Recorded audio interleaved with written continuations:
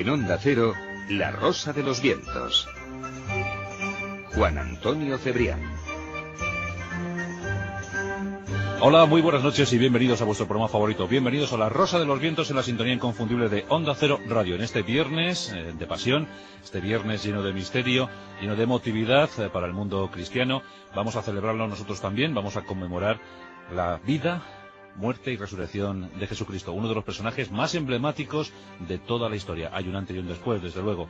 Jesucristo es uno de esos personajes clave. Y esta noche vamos a debatir sobre su figura en torno a la mesa de trabajo que plantea nuestra zona cero. Ahí estarán Jesús Callejo, Carlos Canales, Bruno Cardeñosa, dispuestos a comentar, dispuestos a traer más información sobre algunos aspectos que además han venido comentando en las últimas jornadas. Por ejemplo, esa reconstrucción sobre el rostro de Jesucristo, esa reconstrucción que ha realizado la BBC. Yo no sé si afortunado o desafortunadamente, pero bueno, nuestros especialistas lo comentarán esta noche. Y por supuesto esos aspectos siempre, siempre, siempre eh, clave y puntuales del, eh, del, mundo de Jesús. Vamos a hablar de esos juicios, vamos a hablar de su vida, vamos a hablar de las fechas significativas, hablaremos de los milagros, de los hechos sobrenaturales, de los prodigios, por supuesto que hablaremos de la sábana santa y de tantas y tantas cosas. Así que bienvenidos con pasión, bienvenidos con fervor a nuestro especial Zona Cero, nuestro monográfico Zona Cero, hoy dedicado por entero a la figura de Jesús.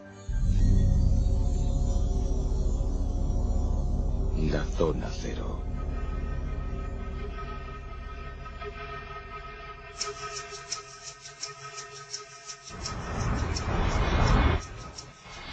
Hace justo un año, estas 4C que hoy os hablan estaban en un estudio un poquitín, un poquitín más pequeño, un poquito más pequeño, estamos todos muy juntitos, Hombre, siempre hemos sido amigos, pero claro, ese día fuimos más porque, claro, estábamos codo con codo, hombro con hombro. Eh, en esta ocasión estamos algo más espaciados, eso no quiere decir que nos hayamos distanciado también, eh, cuidado. Así que vamos a hablar de, Jesucristo en lo que ya podemos considerar como uno de los clásicos de la zona cero. Cada año, pues de alguna manera estamos obligados, y lo hacemos con mucho gusto, a realizar un, especial sobre la figura de, de, Jesús. Vamos a tener un especial hasta las 4 de la madrugada, estaremos por tanto tres horas, horario especial, tiempo especial, fin de semana, casi fin de Semana Santa, y vamos a, vamos a intentar hacer que lo paséis eh, bien, eh, eso sí, con, siempre con respeto y con admiración hacia una de esas figuras pues eh, sublimes de, de, nuestra historia. Tenemos a nuestro querido Jesús Callejo. ¿Qué tal? Buenas noches. Hola, buenas noches. Tú como tienes el mismo nombre, pues claro, te presentamos el primero. la parte que me toca, ¿no? Sí, bueno, pues aquí estamos Jesús eh, un año después, ¿no? Un año después, efectivamente, después de aquel revuelo que armamos hace un año, ¿no? Sí. Pues nada, vamos a ver, vamos a ver esta vez si la pasión pues sigue siendo tan apasionante, ¿no? Como parece que fue en aquella ocasión y esta vez con datos nuevos. Ha pasado un año y que duda cabe que muchas investigaciones se han llevado a cabo en muchos de los aspectos que tú acabas de mencionar y que iremos poniendo sobre el tapete, sobre la mesa, iremos un poco pues debatiendo y comentando pues todo aquello ¿no? que, que nos parece, porque la verdad hay, que, hay muchas cosas, mucha polémica, como siempre pasa alrededor de la figura de Jesús. Yo creo que eso es lo interesante, lo bonito, ¿no? Es uno de esos temas que nunca pasarán de moda, porque es una figura emblemática y con independencia de que la gente crea o no crea en ella, después hablaremos de su realidad histórica, el hecho es que a nadie deja indiferente. Por lo tanto, yo creo que si se aborda de una forma respetuosa, y eso se da por hecho, pues eh, tiene que, que, apasionar, porque para eso estamos en el viernes de pasión. Mm, así es. ¿Qué tal, Carlos Canales? Muy buenas noches. Hola, buenas noches. Qué curioso, Carlos. Eh, más de dos mil años han, ¿Sí? han, pasado, dicen, la historia más grande jamás contada, como decía el cine, ¿no? Eh, sí. Y es una, a lo mejor una de las historias pues eh, también más controvertida, siempre más debatida a lo largo de, de, los siglos, ¿no? Tiene que serlo, pero por una razón evidente. Guste o no guste, mmm, Jesucristo es la figura más importante de la historia de la humanidad. Así es. Y lo es independientemente de que se crea que es el Hijo de Dios o que no se crea en ello, por la trascendencia que ha tenido en la sociedad, en la cultura y en la religión. Eso es indiscutible. Lo ha marcado todo. Claro, eso es, es abrumador. Entonces es algo que no, no ofrece lugar a dudas. Y el hecho, además, añadido, de que haya sido sociedades cristianas, al fin y al cabo, como podría ser la occidental o, o, la heredera ortodoxa rusa, la escala larga y a la postre han dominado en cierto modo y han impuesto sus costumbres y su cultura en, alrededor del mundo, pues eh, ha hecho hincapié aún más en el poder y la fuerza que ha tenido el cristianismo. Mm. Es posible, y supongo que saldrá en el debate, que en parte el mensaje de Jesús no haya sido cu cumplido, por no decir en su totalidad. Pero el hecho cierto es que independientemente de eso, el, lo que dejó detrás, y eso que dejó detrás es la institución ahora mismo viva más antigua del mundo, la Iglesia, pues lo cierto es que ha marcado de una manera decisiva la historia de la humanidad, para bien o para mal. Está claro que el mensaje que dejó Jesús eh, nos hemos esforzado a lo largo de los siglos por no cumplir, ¿no? Bueno, eso cuando en el, después de la batalla del Puente Milvio, cuando Constantino se convierte al cristianismo, sí. Alguien dijo muy sagazmente dentro del bando derrotado que los cristianos no podían ser vencidos ni exterminados, porque los exterminadores eran cristianos también. Eran cristianos también. Pues eso yo creo que, resume muchas cosas, Carlos. ¿Qué tal, Bruno Cardeñosa? Muy buenas noches. Hola, buenas noches. Pues mira, Bruno, un, año después, eh, dos mil y pico años después, y todavía hay novedades sobre, sobre Jesús, ¿verdad? Cada año hay alguna novedad. Claro, por lo que decía Jesús también, Jesús Callejo.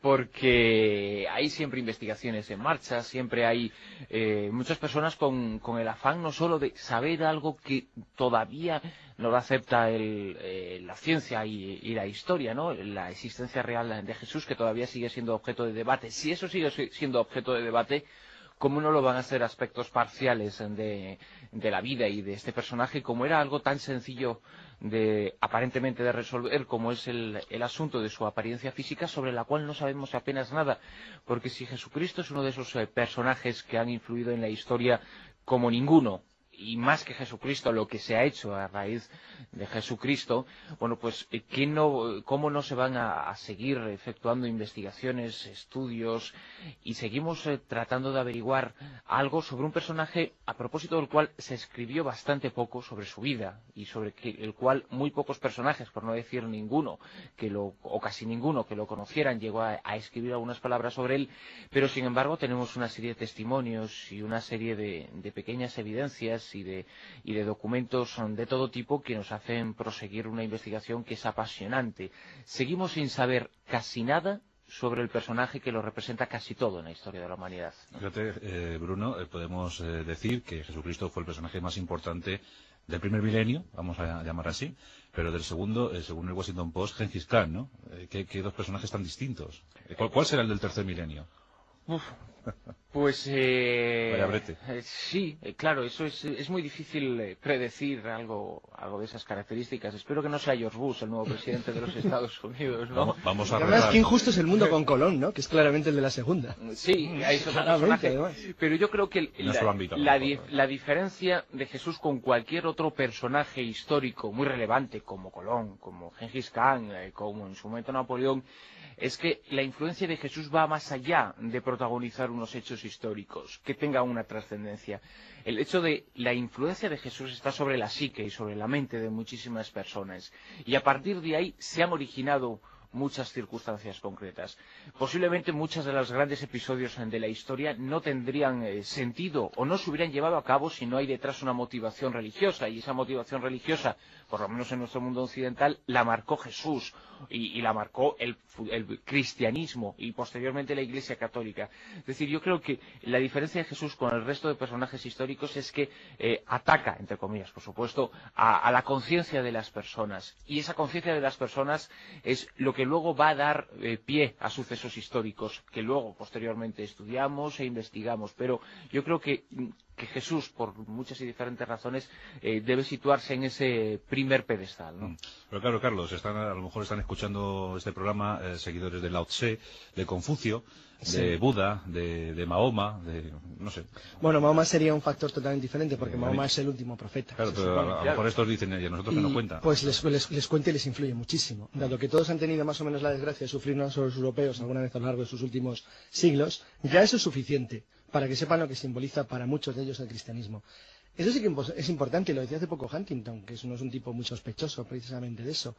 Los europeos, yo creo que la verdad es que en, la época actual, pues bueno, somos una gente medianamente civilizada, que tendemos muchas veces a olvidar eh, cómo nos hemos expandido por el mundo y qué significa la religión cristiana para otras culturas.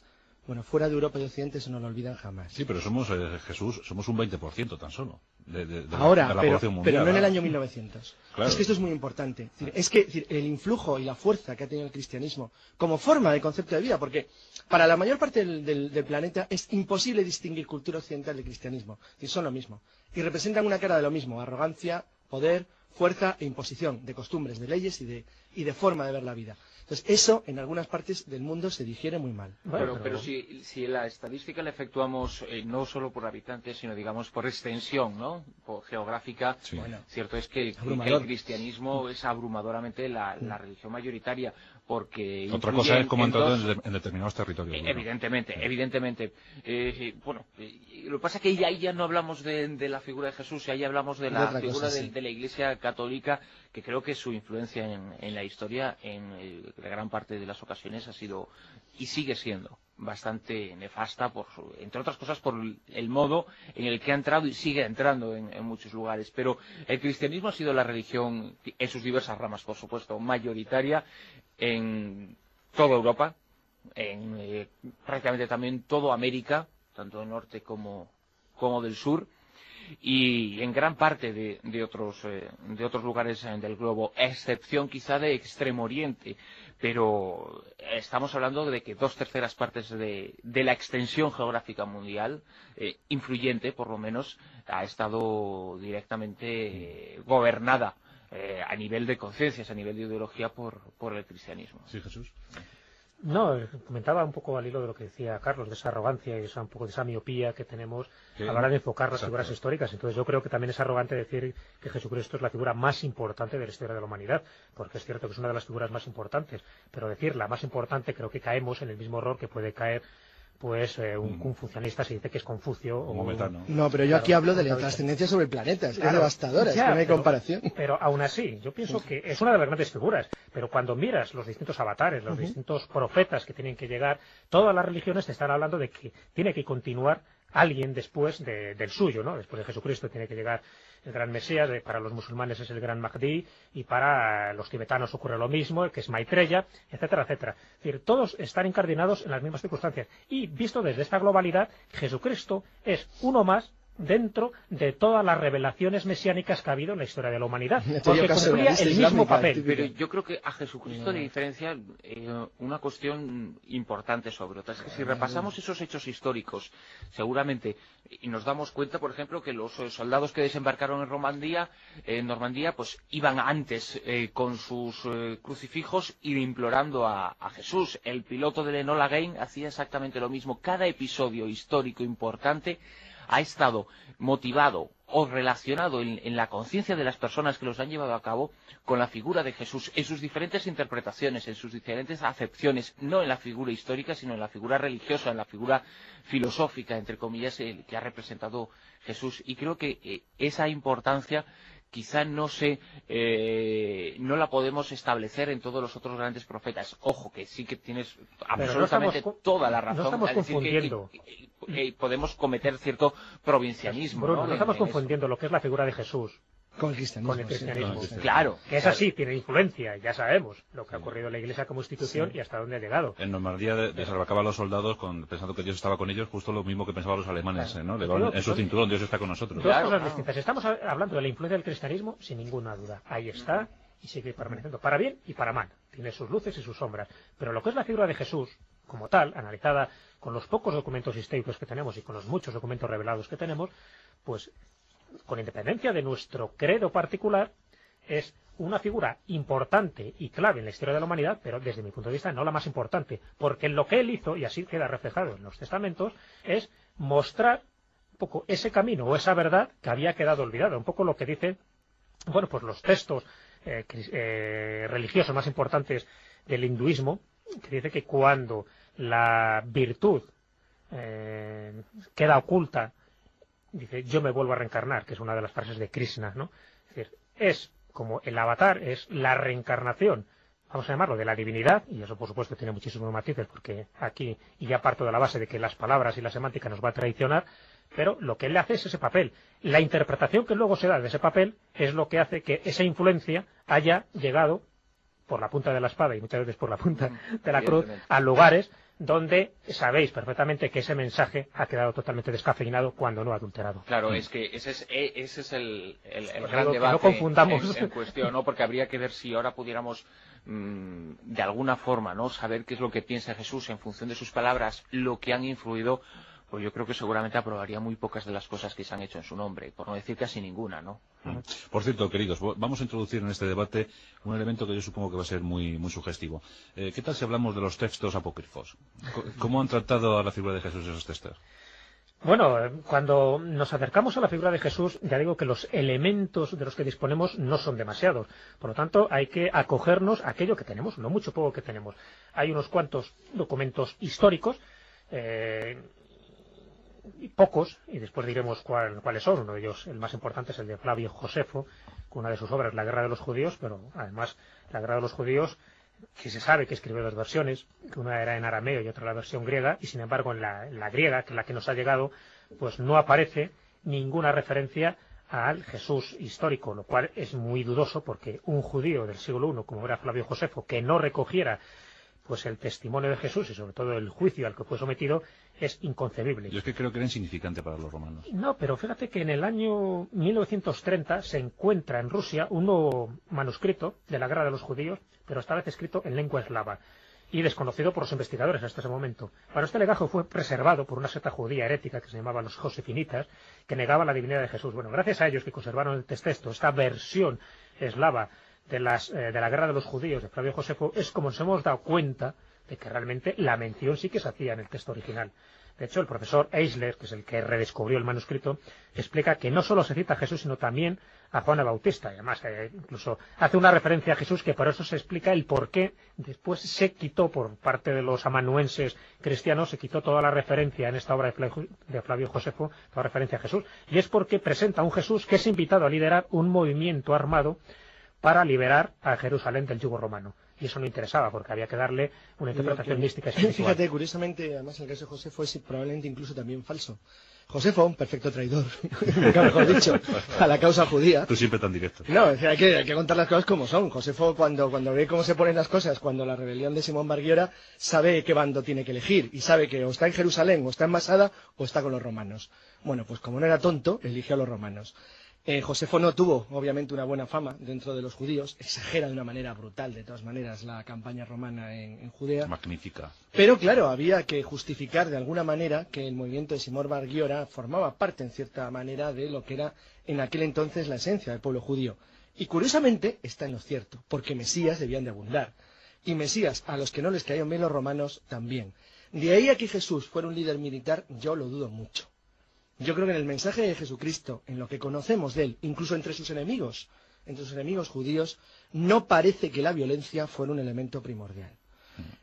¿Que se consideraba o le consideran sus seguidores lo que ha dicho la tradición, un Mesías? Pues parece evidente que sí. ¿Que ese Mesías no era el rey David reencarnado que iba por la fuerza de las armas a echar a los romanos? Pues parece que también. Hay que tener además en cuenta, eso es, eso es algo ya muy conocido, que no es lo mismo el impacto de la presencia romana en Judea en el año 70 y después cuando escribe Josefo, que cuando en tiempos de Tiberio eh, Jesucristo está haciendo sus movimientos por Judea, donde la presencia romana era poco más o menos que insignificante, mantenía una fortaleza en Jerusalén, la fortaleza Antonia y un par de puestos en la costa para cubrir las comunicaciones entre Egipto y Líbano, pero nada más. Y los efectivos no se llevan un acorde o poco. Y además encima auxiliar, o sea, era prácticamente ridículo. A los judíos les parecía una panda de locos, además a los romanos, que estaban siempre discutiendo de religión. Por eso siempre sospecho, siempre hemos sospechado, Carlos, que, a lo mejor el juicio a Jesús pues era nada más que una cosa más en la agenda del día, ¿no? Mm, desgraciadamente, y digo desgraciadamente porque si no hubiéramos tenido un análisis mucho mejor y mucho más detallado, probablemente sí.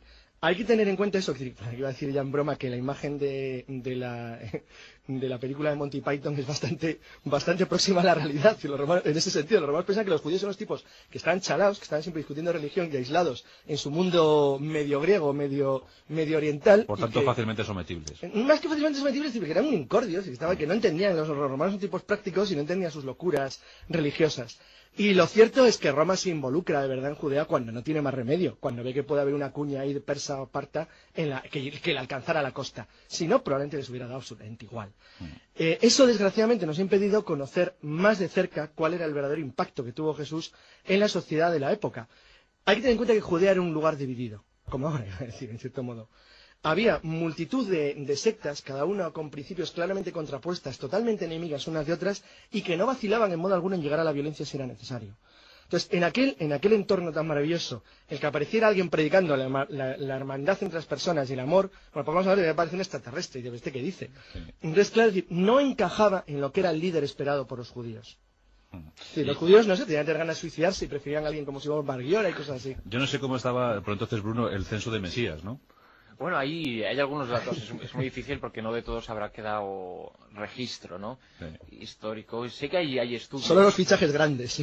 Hay, hay estudios que hablan de que solo en, en ese siglo que precedió a, a- a la llegada de, de Jesús, que tuviera una importancia y una relevancia y de la cual exista una mínima constancia de que existieron aproximadamente unos 40. Unos mesías, Con sus eh, núcleos de seguidores, con su influencia sobre determinado grupo de población, aunque bueno, habrá muchas otras eh, muchas otras pistas para seguramente engrandecer al máximo ese, ese número de, de Mesías. Lo que ocurre que por, por alguna razón eh, Jesús parece que pudo haber, si no fue un, entre comillas, un terrorista, como, como se ha especulado, sí un celote, sí que probablemente se ganó la simpatía también de los más radicales. Se pudo aunar un poco todas las, las tendencias en esa lucha contra lo que era el, el yugo romano. Y al eh, aunar todas, eh, mm, aunar todas esas diferencias eh, ideológicas que tenían en el fondo un, un mismo objetivo, quizá en eso estribó el éxito de Jesús y quizá en eso estribó el hecho de que, por ejemplo, entre sus discípulos y sus seguidores hubiera un espectro tan diferente de personajes como, como el que encontramos. Y fue algo así como un aglutinador de, de lo que mucha gente esperaba en aquella época. De todas formas, eh, Jesús, eh, vemos en, pues en el lado, vamos a llamarlo así, vamos a llamarlo así con mucho cuidado, pues violento de, de Jesucristo, pues lo único que tenemos es la entrada en el templo, ¿no? Eh, Solo. La entrada airada en el templo, Por ¿no? lo menos en los evangelios canónicos, ¿no? Claro, claro. referencia a los evangelios apó- apócrifos. Por eso es difícil hablar de una resistencia ca- Es casi armada. difícil, ¿no? es difícil. Hombre, yo creo que es verdad que la dimensión humana de Jesús ha quedado bastante adulterada después por las distintas transcripciones que se ha hecho de su figura. Se le ha quitado ese ropaje humano y belicoso, pues en el fondo. También lo tenía, no olvidemos, en la época en que él nació y ese yugo romano pues que estaba amargando a los co- judíos Coger la espada era lo, lo habitual. y estaban buscando un Mesías, pero un Mesías no que le dijera palabras bonitas, sino que realmente pues arremetiera contra los romanos. Mm. Hay que ponernos en esa época. Y por supuesto que Jesús, como, como ser extraordinario que era, persona inteligente, pues ese tipo de manifestaciones tuvo que tener algunas, pues si no, no hubieran seguido como le siguieron tan fielmente. Otra cosa es que después eso quedara en un segundo plano y después fue, fue quedando relegado. Pero en los evangelios apócrifos, sin embargo, en algunos sí que se remarca ese otro aspecto que después han querido pues, borrar, ¿no? En, sobre todo los, los primeros cronistas cristianos. Jesús, el, el pecado que cometen los apócrifos es a lo mejor humanizar en exceso el personaje. En algunos casos sí, en algunos casos los apócrifos cuentan estupideces supinas que son tan incoherentes que por supuesto no se sostienen, ¿no? Pero claro, cuando hablamos de apócrifos son muchos apócrifos, estamos hablando de cientos de ellos que se llegaron a, a enumerar en Eh, un principio. Explícanos, Jesús, en 30 segundos qué es apócrifo. Bueno, apócrifo es libro secreto, es un poco la- lo que significa la, la palabra. No autorizado. Sí, los libros eh, no autorizados, los libros eh, secretos, los libros que, que no estaban consensuados por, eh, por, por entonces lo que era eh, la ciencia establecida, ¿no? Y la ciencia establecida, por supuesto, eran los teólogos, era Sí. la gente que establecía Esto sí, esto no. qué libros eran los que se... eh, Claro, qué libros eran los canónicos y cuál no. Ya sabéis que, que se cuenta la leyenda que en el concilio de Nicea, en el año 325, es cuando... Bueno, hay muchas versiones, ¿no? Pero uno de ellos era lanzarlo sobre una mesa y aquellos cuatro que quedaron, pues eran los auténticos y los otros eran los falsos, o aquellos que se tiraban a- al fuego y también los que se quemaban eran los falsos y los que no se quemaban tenían esa virtud de la incombustibilidad, pues eran los auténticos. Bueno, hay muchísimas leyendas. Lo que sí queda claro y patente es que fue muy gratuito o muy discriminatorio el hecho de que eligieran unos y no eligieran otros, porque muchos son de la misma época, estamos hablando del siglo II de, después de Jesucristo, tanto los evangelios canónicos y dentro de los, canónicos los sinópticos, que son los tres primeros, no es el de Juan, y el resto de los apócrifos. ¿Por qué unos sí y otros no? ¿Por qué el pseudo evangelio de Mateo o el de el evangelio de Santiago no y los demás sí? Ah, las razones ya son muy dudosas. Pero es cierto que en algunos casos encontramos datos muy valiosos tanto en la natividad de Jesucristo como en la pasión y muerte de Jesucristo. Datos que no contradicen en absoluto el relato bíblico, el relato evangélico, tradicional y ortodoxo, pero que sí nos añaden determinados datos, determinados elementos de información que eh, rellenan de- unas cuantas lagunas que desde luego de otra forma no podríamos rellenar. Pero claro, como son apócrifos y por lo tanto dentro de la terminología de la Iglesia falsos, nunca se han tenido en cuenta. Eh, Pero Carlos, eh, ¿por qué se tardaron ¿Por qué se tardó tanto tiempo en escribirlos? Mm, los bueno, unos y los otros. Primero porque no había fuentes directas. Segundo porque el cristianismo era una secta muy perseguida. Mm. Hay que tener en cuenta que la organización de la iglesia tal y como lo conocemos ahora... Pero a, empieza- nadie, a nadie le dio por tomar notas. No es que no diga por tomar notas, probablemente habría miles de datos del cristianismo original si hubieran podido conservarse, o Sí. si eh, los primeros compañeros de Jesús, que fundamentalmente escribían, aparte en los idiomas que se hablan en Judea, en griego, que era el idioma más internacional de la parte oriental del imperio, Sí. que en algunos casos pasaron a corrientes ortodoxas, como la iglesia armenia o la, o la iglesia de Georgia, o incluso de Etiopía, Mm. que tienen raigambres muy antiguas, que no fueron luego contaminadas por el influjo o el impacto occidental, hubieran conservado tal vez eh, datos que ahora serían de gran importancia para conocer la vida de Jesús. En el año 70 se perdieron. algunos. No en el año 70 se perdieron obviamente muchos en la toma de Jerusalén, pero muchos más en la rebelión siguiente, en la de Simón Bar Kojeva, en el Hijo de la Estrella. Eh, porque ahí ya sí que hubo, es cuando nace la dispersión, la famosa em- em- emigración masiva de la diáspora judía, porque es cuando Roma decide de verdad actuar de una manera dramática contra, contra los, los independentistas jude- de Judea. Pero de todas formas, Jesús ha dicho algo fundamental de los evangelios apócrifos, que bueno, ahí eh, fueron elegidos unos, como, podían- como ha dicho bien, como podían ser elegidos otros. Bueno, la Iglesia no dice en absoluto que los evangelios apócrifos sean falsos y jamás lo ha sostenido. Lo que ocurre es que, bueno, pues se decidió que estos eran los que formaban la doctrina oficial y los otros no. Pero para mí lo más importante que tienen los evangelios apócrifos es lo que aportan, es cierto que como ha dicho también muy bien Jesús, algunos de unas chorradas, lo que aportan es mucha información sobre algo tan elemental como la vida privada de Jesús de Nazaret. Cómo nació, quién era su padre, cuál era su madre. Es decir, tuvo hermanos, Jesús de Nazaret. Es decir, datos estos que mm, forman mm, parte de la humanización de Jesucristo. El Jesús de los algunos de los evangelios apócrifos es mucho más humano que el Jesús de los evangelios oficiales. Mucho más humano no en el sentido humanista, de bondad, de amistad, de amor, sino en el sentido de que se le dota de una vida mucho más propia de lo que sería un ser humano. Por ejemplo, se casó con María Magdalena, tuvo hijos. Tuvo hijos. ¿Qué fue de sus hermanos? Hay descendencia de Jesucristo, sobre la que luego se generó un gigantesco mito en la Edad Media, mito que en ciertos eh, grupos ocultistas todavía pervive. Sobrevivió a la cruz. Eh, eh, bueno, si sobrevivió a la cruz ya no sería los evangelios apócrifos, es que se carga las bases del cristianismo. Claro, claro. A lo mejor es que hay documentos demasiado. Es decir, vamos a ver, si hay algo que, que sostiene el cristianismo es que, primero, no murió y segundo, eh, además de no morir, desapareció de entre nosotros. Sí, sí, sí. Sí que podría ser cristiano el permitirle haber seguido entre nosotros. Desde luego, lo que no hubiera podido ser cristiano es el crearle una tumba. Sí. Y ha habido líneas que lo intentan. Bueno, y la última película está de Body, ¿verdad, Bruno? Bueno, Que- eso se carga en dos minutos, si hay un si encuentras el cuerpo de Jesucristo. ¿Cuál es tu opinión, Bruno, sobre todo esto?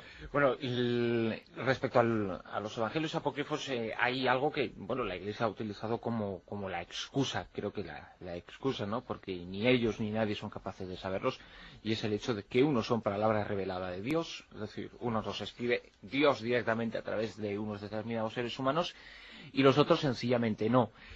No, no deja de ser casualidad y es un análisis objetivo que se puede realizar, es que esos evangelios, ejemplo, el, el Evangelio de María, ¿no? que nos presenta a María Magdalena como una mujer muy cercana a Jesús, una mujer que amaba a Jesús, a la que Jesús amaba y que era la principal confidente de toda su ideología, de todas sus ideas, de todos su- sus mensajes. Y, y en esos eh, evangelios, en algunos de ellos, aparece la figura de María Magdalena como la persona que después de la muerte preserva todas esas eh, palabras y se encarga un poco de custodiar su pureza. Bueno, toda esta serie de cosas tan sospechosas para la, la doctrina católica son las que en un momento determinado hicieron que los evangelios apócrifos fueran apartados simplemente por, por no ser revelados, no, no por no ser falsos, no por ser falsos, porque la influencia de los apócrifos, y aquí cuando ha sido un poco la- las fechas contrarias a estas, ¿no? Cuando es, cuando es la Navidad lo, lo hemos venido diciendo, la influencia, por ejemplo, en, en algo tan arraigado en, en nuestro mundo occidental como son los belenes,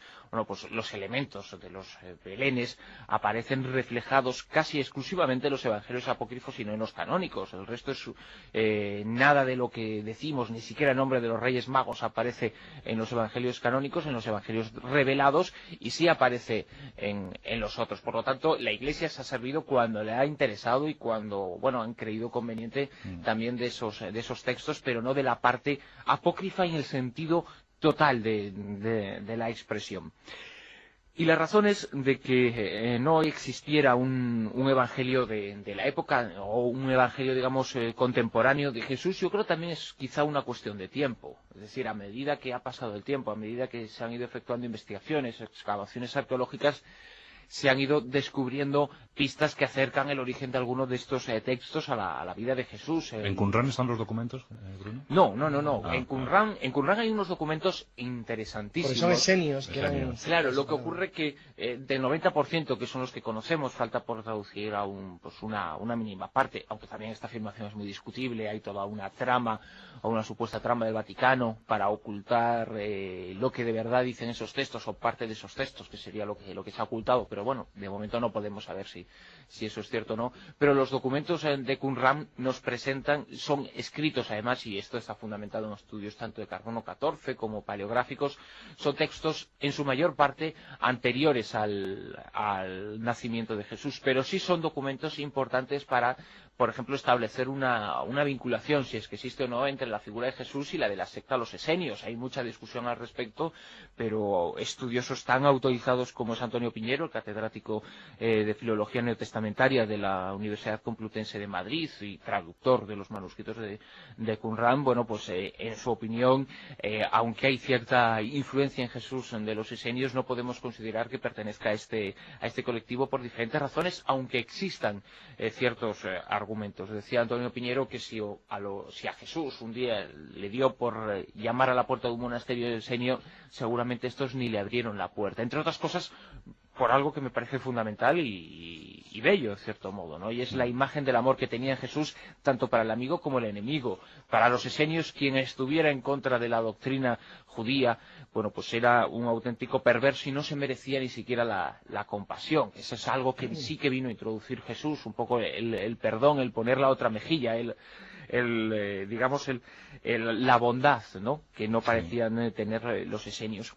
Y respecto a, esas fuentes, eh, claro, son tantísimos temas, se va a dar tiempo a hablar eh, mucho, ¿no? Tranquilo, oye, vamos. No, hay tiempo, no, hay tiempo. la tradición de correr ya. La, tradición, la tradición oral posiblemente tuvo mucha influencia a la hora de encontrarnos con esos cuatro evangelios, eh, los aceptados oficialmente. Pero hay otras investigaciones que hablan de una fuente común de, conocimiento, de, de, información, como es ese famoso documento CUM, y además de otros posibles documentos que se hablan que pudieron ser un poco el, origen mm.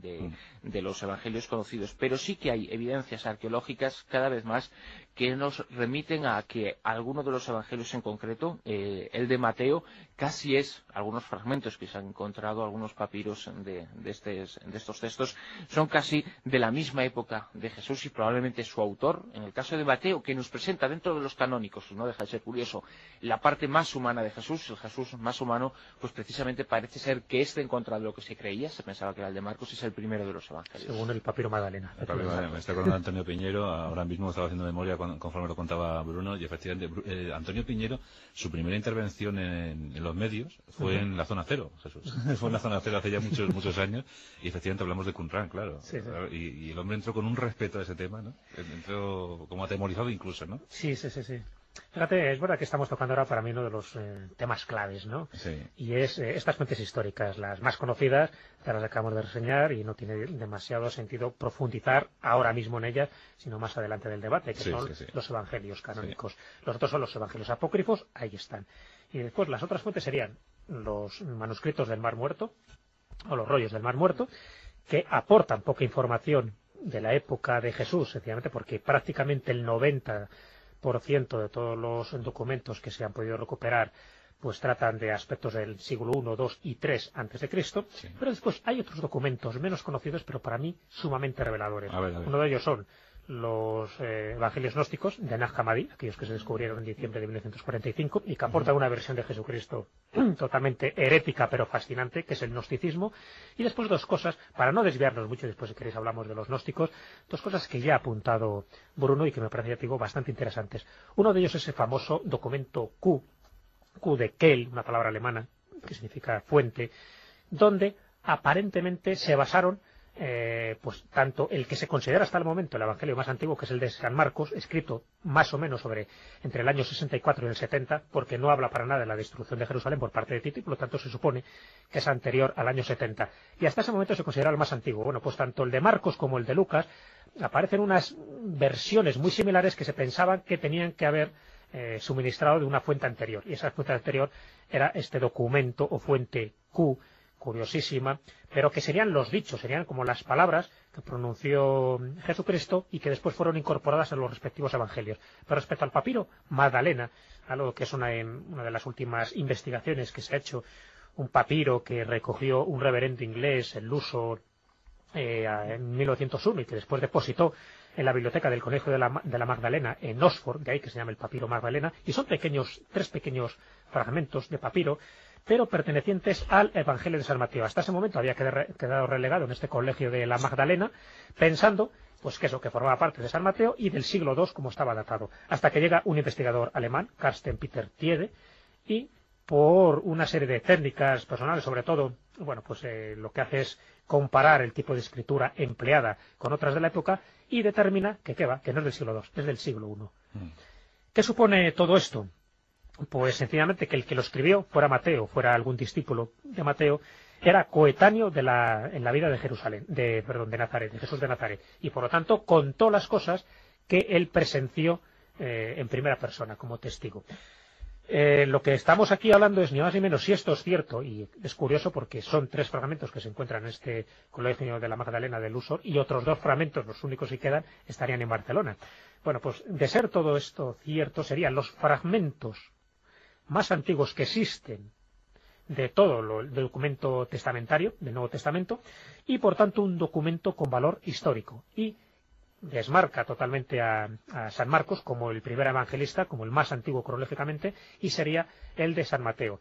Esto, ya digo, que nos pone sobre la pista de dos cosas importantes. Primero, San Marcos ya no fue el más antiguo, ya no lo escribió, pues lo pudo haber escrito él en años 64 y 70. Aquí estamos hablando de una época anterior, es decir, antes de que Jesucristo muriera, y después hablamos de cuándo realmente murió Jesucristo según las últimas investigaciones, pero vamos a poner que fuera en el año 33 después de Cristo, es decir, alguien que lo escribió en esa época. Y además nos estaba descubriendo un manuscrito importantísimo, este papiro Magdalena, porque nos está hablando ya de una vertiente histórica que, por desgracia, se carece o es muy fragmentaria. Es un documento histórico de alguien que lo presenció y que se llame el Evangelio de San Mateo, o a saber cómo se puede llamar, porque no se sabe si lo escribió San Mateo, nos está dando unos datos fundamentales sobre la vida contemporánea de Jesús. Lo que ocurre, Carlos, es que es muy difícil pensar, es muy difícil aventurar que la Iglesia Católica se ponga a reordenar los papeles, ¿no? Mm, lo va a tener que hacer. Mm. Lo va a tener que hacer inevitablemente porque si no lo hacen ellos lo van a hacer por ella.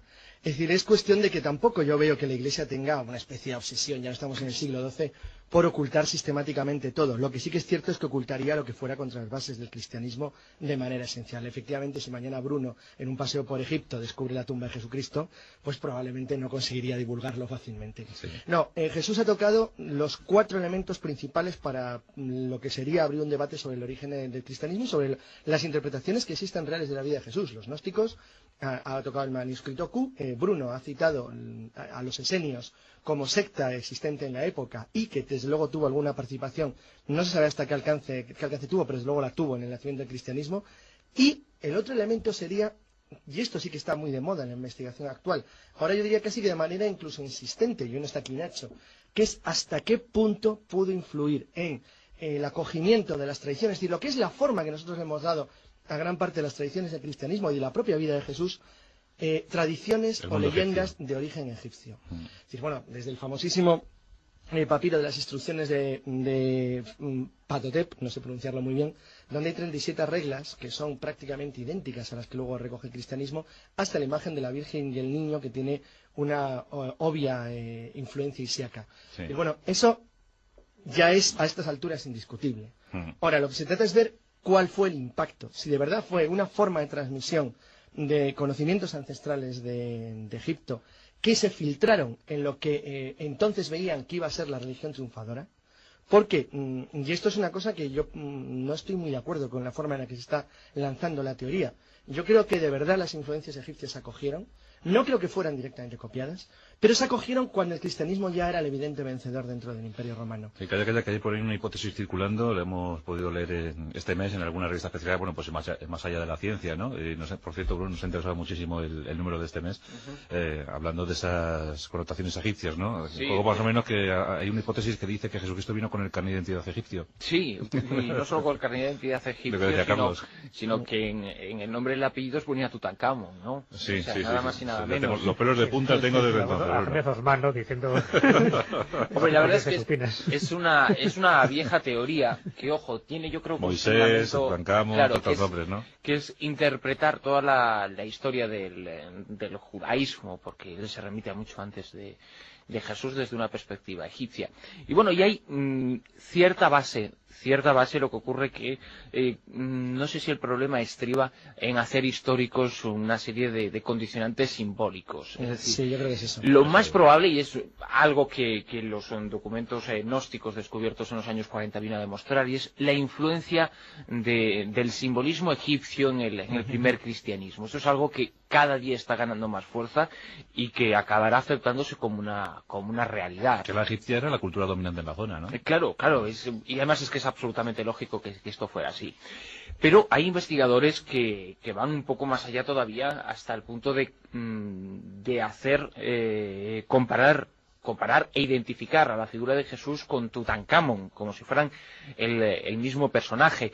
Y sí que hay ciertas características o ciertos datos, bueno, que nos hacen cuanto menos sospechar. Es una hipótesis, una hipótesis abierta y que debe ser rematada por muchísimos otros puntos. Pero bueno, eh, Osman lo que ha hecho, eh, que es un poco el que ha publicitado mayormente estos, eh, estos hallazgos, es dejar una puerta abierta para que otros investigadores acaben concretando, ¿no? Lo que ocurre que entre Tutankamón y Jesús hay 1500 años de diferencia. Claro, claro, pero Osman se fundamenta en el hecho de la no existencia histórica de Jesús. Fijaros y en que... la creación de que, que, mucha gente piensa, que Jesús fuera un personaje absolutamente creado por los judíos de su época, tomando la simbología egipcia y la de y la, la historia y la leyenda de Tutankamón para crear un nuevo personaje y así influir en, en los eh, en determinados movimientos. Bruno, es que época, cabe ¿no? la posibilidad justo contraria, es decir, que el, el cristianismo cuando, cuando, Jesús nace, ya la cultura dominante en Judea, fuera de la, de la local, ya no es la egipcia, es la griega. Eh, después de, de, la ocupación por parte de Alejandro Magno y de Macedonia de todo el, el imperio persa, los, los, reyes sucesores son reyes, reyes helenos. La influencia de la cultura helenística era, fue, era poderosísima y había minorías griegas, todavía las hay, en todo Oriente Medio.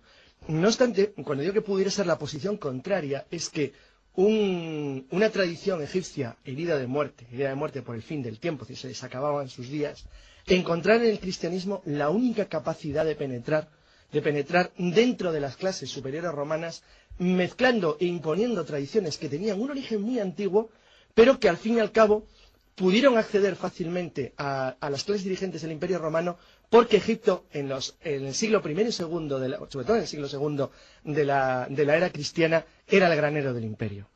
Es decir, había un enorme tráfico y una enorme influencia por parte de, me refiero, de, gente del pueblo. Hay que tener en cuenta que Egipto fue cristiano mucho antes que lo fuera incluso Italia. Eh, esa forma de influencia fue la única posibilidad que tuvieron algunas tradiciones viejas egipcias de no perderse. Es decir, es algo parecido a lo que ocurrió con las tradiciones germánicas árbol de Navidad. Es decir, con, cuando aquello se moría, nosotros ahora ponemos árboles en las casas. Pero el error que comete Ahmed Osman, que es el que difunde toda esta teoría y algunos como es negar la existencia. me parece totalmente descabellada, pero por una razón de ser. No tanto ya por la cantidad de años que pasan desde una figura histórica a otra figura histórica, sino porque es el clásico personaje que tiene una teoría ya predeterminada, Sí, que, sí, decía, bueno, parte de la base de que Jesús no existió y por lo tanto hay que buscar a alguien que asuma un poco ese simbolismo. Y empieza, esas y empieza a tirar de la hebra. Y entonces empieza a decir, bueno, pues ¿quién es el que tiene más o menos así cierto, cierto protagonismo en la historia? Pues Tutankamón.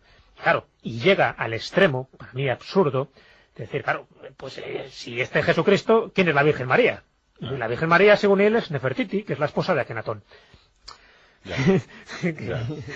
Ya, es que va, va, muy cogido por los pelos. Sí. Claro, y, pero, bueno, y así continuamente. Yo creo de todas formas que sí que hay que hay que hay ciertos hechos y ciertos son datos que revela Osman que a mí sí me parecen realmente inquietantes. Bueno, tirando, el hecho de que, tirando ejemplo, del monoteísmo, ¿no? Pues... No, pero por ejemplo, el nombre que se le da en algunos apócrifos a, a Jesús, ¿no? Que es Pantera, que en egipcio significa hijo del dios Ra. O sea, es, es, es una una similitud cuanto menos sospechosa, o el hecho de que... Jesús eh, o Josué. Claro, bueno, es, entraríamos ya en la, en la denominación, pero, pero, evidentemente y saber cuál era el nombre exacto de Jesús, que parece que podía ser cualquiera parecido a Jesús menos Jesús, ¿no? De, pero bueno, tenemos que meter en la raíz etimológica de la palabra. Él lo identifica, por supuesto, a, a estos eh, personajes, a uno con, con otro, ¿no? a Josué con, con, Jesús. Pero hay otro hecho, por ejemplo, en la, en la tumba de, Tutankamón se han descubierto imágenes, por ejemplo, que representan a Tutankamón dentro de una Santísima Trinidad, como posteriormente hizo el, el cristianismo. O la investigación de la momia de Tutankamón reveló que la muerte de Tutankamón, excepción hecha de la crucifixión, fue precedida de una serie de torturas muy similares a las que sufrió Jesucristo. Es decir, hay una serie de similitudes y una serie de paralelismos cuanto menos, cuanto menos, cuando menos sospechosos para hacernos pensar de que quien escribió la historia de Jesús introdujo algunos elementos extraídos directamente del de, eh, mundo egipcio y en concreto de ese periodo tan, tan interesante como Claro, es el Bruno, de Akenatón y el de Tutankamón. Eso es evidente, el simbolismo egipcio está ahí, pero igual que también el simbolismo sumerio y el, y el simbolismo de otras ¿Cómo sería civilizaciones antiguas. ¿Una serendipia? Eh, no, que va, en absoluto. Esto es un plagio. Sí. Es verdad, se sabe perfectamente, hace poco se ha publicado un libro para mí de lo más revelador, donde va desmontando punto por punto toda la el simbolismo que tiene el cristianismo, lo va desmontando diciendo que no es genuino ni es original, sino que eh, está inmerso en otras tradiciones, en otras culturas y en otras leyendas. Y en la egipcia, desde luego. Pero es que eh, solo te voy a poner un ejemplo, os voy a poner un ejemplo que es muy evidente. Cuando aparece Isis, eso no falta solo ir a un museo donde aparezcan representaciones egipcias, de a Isis eh, sentada y en su regazo a Horus. Bueno, es perfectamente la imagen iconográfica de la Virgen María con el niño Jesús. Pero es que la han copiado literalmente de ahí. Y bueno, y si ya seguimos tirando del hilo, todas las Isis negras, la imagen de Isis, que es la que se veneraba, cuando sobre todo se cristianiza Egipto, y a partir de ahí ese culto va pasando a Occidente, bueno, pues las imágenes de la Virgen Negra Isis, sabes que después se transforman en la imagen de la Virgen Negra, pero como Virgen María, como imagen católica, y además fomentado su culto por los templarios, y colocados en aquellos lugares donde los templarios querían preservar algún secreto. Entonces, ese sincretismo me parece evidente, pero de eso llegar a hacer una transposición de datos históricos, yo creo que ahí es donde Osman se columpia olímpicamente. Completamente de acuerdo. Vamos, Jesús, que no hay nada como estar bien documentado para escribir una historia, ¿no? Claro, y sobre todo si tú quieres que encajen las piezas, por supuesto, encajan las piezas. Y si queremos que Napoleón sea Jesu- Jesucristo, ya habrá alguien que te va demostrando punto por punto que así es. Pero desde luego, si partimos de falsas bases y de falsos asentamientos, como es en este caso, por supuesto puedes llegar a, bueno, pues a determinadas ¿Quién decía que Napoleón nunca existió? Sí, sí, hay un libro por ahí que yo tengo Claro. recogido Se donde demuestra palpablemente, palmariamente, como decía Carlos Canales, que realmente Napoleón no existió, que todo fue un símbolo y que fue un mito. Pero todo el mundo sabe que Napoleón existió porque Patón era su reencarnación. Pero vamos, que el simbolismo egipcio está ahí. Y la batalla que tiene eh, Osiris con Set es clarísima. Pero bueno, por ejemplo, Osiris muere, eso es traicionado por un- una persona cercana, muere, en la, muere de, una- de la misma manera, resucita el tercer día. Pero es que es que era muy cómodo, es que tener en cuenta Claro, que Egipto pero- tenía pero- unos pero- 10 pero con millones la- de Con la habitantes. diferencia de que todos esos símbolos egipcios son anteriores al cristianismo. Claro, pero los cogen porque es de las primeras zonas que se cristianizan en la, en la forma en la forma que nosotros concebimos. Lo mismo que hacen cuando cristianizan un dolmen celta, es lo que hacen cuando cogen la figura de la Virgen María de Osiris con Horus en el regazo. Es decir, ¿cuál era el primer lugar cristianizable interesante? Egipto, era el granado del imperio, tenía 20 millones de habitantes, es decir, era el lugar más poblado con mucho del imperio, el más rico, el más culto, con una cultura griega en la costa como Alejandría, que era la segunda ciudad del imperio, mayor que Constantinopla y la segunda después de Roma, y claro, es que era esencial. Entonces, ¿qué es lo que hacen? Lo mismo que hicieron luego en Occidente. ¿Cómo se cristianiza la gente? Pues cogiendo sus mitos y pasándotelos a ti. Claro, pero por esa razón yo digo que las teorías de Osman quizá son perfectas en su argumentación y absolutamente erradas en sus conclusiones. Pero sí llega a, a plantear una serie de hechos que, ojo, que si planteamos esto que estamos diciendo ahora hace 30 años. Y, la- y- y los No hechos eran los mismos... No, no estaría planteado, no te preocupes. Pues, eh, es decir, que algo sí estamos avanzando en comprender un... un No, sí es el mismo eso. razonamiento de por qué se ha buscado el 25 de diciembre como la fecha del natalicio de Jesús, cuando se sabe perfectamente que no nació. ¿Por qué el 25 de diciembre? Porque ¿Cuál? ahí es cuando nacen todos los dioses solares, todos los dioses instructores de todas las culturas. Eso está bien, Jesús, y nos sirve para plantear la siguiente cuestión. Eh, ¿Cuándo nació Jesús? ¿Cuántos años tenía en el año 33? Pues desde luego más de 33. Desde luego, por lo menos, ya tenía cuatro años, porque Herodes el Grande murió en el año cuarto antes de Cristo, y si admitimos como histórico, que Menuda por lo menos fueron coetáneos, y si admitimos por lo menos que, que los, eh, mató a todos los niños que tenían dos años, por lo menos eh, Jesucristo nació en el, en el año 6 antes de Cristo. Pero bueno, eso es una especulación. Lo que está claro es que por lo menos cuatro años antes de esa cronología que hizo Dionisio el Exiguo, Sí. este monje escita que era exiguo en estatura y exiguo en conocimientos, pues la lió de tal manera que a partir de entonces, pues todas las dataciones cronológicas, porque nos basamos eh, pues como año cero, como año uno en este caso, Sí. el año de Cristo, pues así nos ha ido. Bueno, ¿no? Y de ahí que hayamos entrado ya en el 2000 hace ya Por tiempo. cierto, y- que la Iglesia se dio cuenta enseguida que el año 753, la fundación de Roma, no era el nacimiento de Jesucristo, pero a ver quién cambiaba todo. Entonces, bueno, como no podían ir a borrarle, pues se había muerto ya el pobre Siwo, pues la verdad es que, que han marcado un gran error. Yo personalmente, por bueno, que además es la teoría yo creo ahora más en boga, es la que ha dicho Jesús nació el año 6 antes de Jesucristo, un poco antes del 4, lo cual, aunque hubiera muerto el año 30, imaginemos, hubiera tenido bastante más de 33 años, diré un hombre madurito.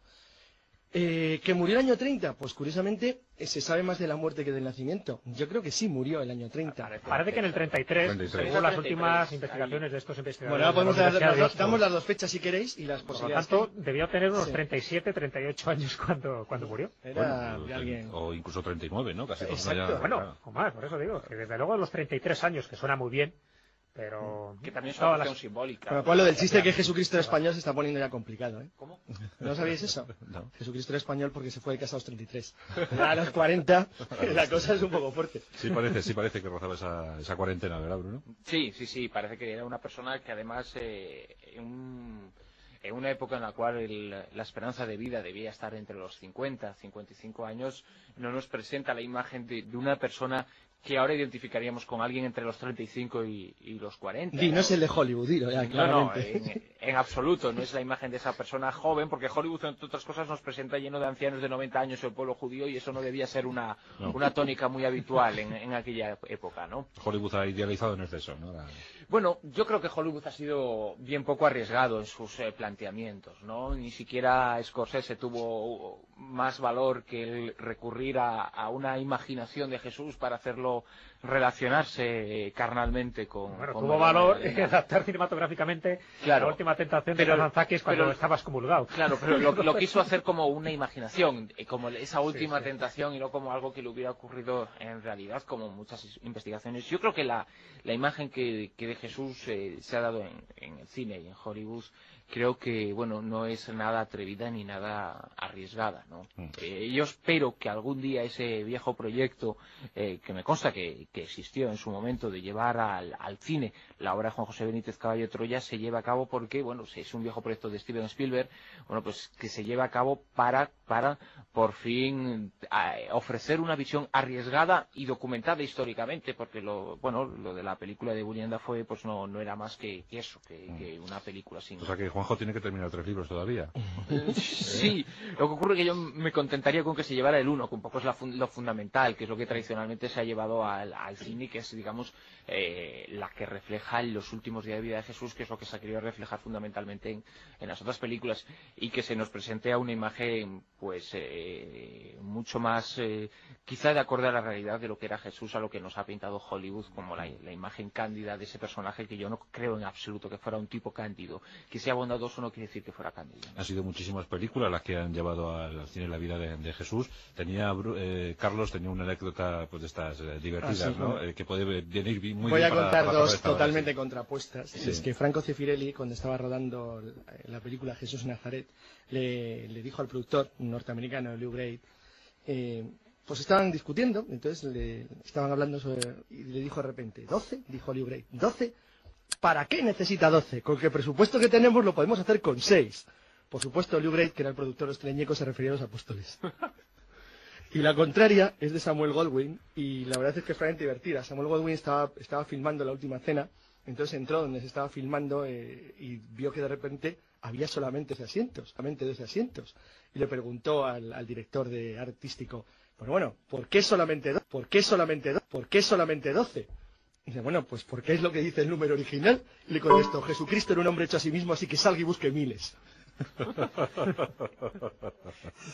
Bueno, pues en, el- en nuestro monográfico especial, nuestra tertulia 4C, hablando sobre estos asuntos que tanto nos, nos apasionan, fijaos que ya hemos consumido la primera hora de tiempo. Eh, yo creo que, Bueno, hombre, eh, Jesús, el prólogo ha estado bien. Si me dejas solo una pequeña notita, ya que estamos hablando de la última cena y de los doce, sabéis que la superstición esta de que no se pueden sentar trece en una mesa procede de ahí precisamente. Mm. De la última cena, de que hay- alguien por ahí eh, traicionó y el ser trece da mala suerte, ¿no? Y además el que sea viernes 13 también es por la fecha en que crucifican a Jesucristo. O sea que el origen de esta superstición es claramente cristiana. Bueno, bueno, pues... Y anglosajona. pues sí, ahí, ahí queda. Hombre, a Leonardo le dio mucha suerte en la última cena, ¿eh? Hombre, que le dio suerte. Además, os fijáis eh, en el cuadro de Leonardo cómo está el salero. Joder, pues no. Jesús, Jesús, Pues está caído. se ha invertido. Es decir, se ha derramado la sal. estas son las cosas de, de Jesús Callejo que Lo que mira Jesús cuando va a un museo. Es increíble. a, a don Jesús le sueltan en, en la gran pirámide y tardará mucho, ¿eh? Pero saldrá con el enigma resuelto. Hará la momia. Me ha costado, pero la momia voló. La momia habló. Bueno, ahora un tiempo para la información, nos ponemos al, tanto de, la actualidad, nuestros compañeros de los, servicios informativos nos cuentan lo que ha ocurrido en España el resto del mundo, y después seguimos, seguimos con este asunto que tanto nos, nos interesa. Estamos hablando sobre la vida, la obra, los milagros, la muerte de, de Jesucristo, y hay muchos asuntos todavía por abordar. Tenemos que hablar de fechas, tenemos que hablar de rostros, tenemos que hablar de milagros, hay que hablar de juicios, hay que hablar de sábanas santas, en fin, que tenemos mucho muchas cosas que ofrecer. Espero que estéis ahí, que estéis disfrutando como nosotros lo hacemos, aquí como siempre en vuestra querida Rosa de los Vientos, como siempre en Onda Cero Radio.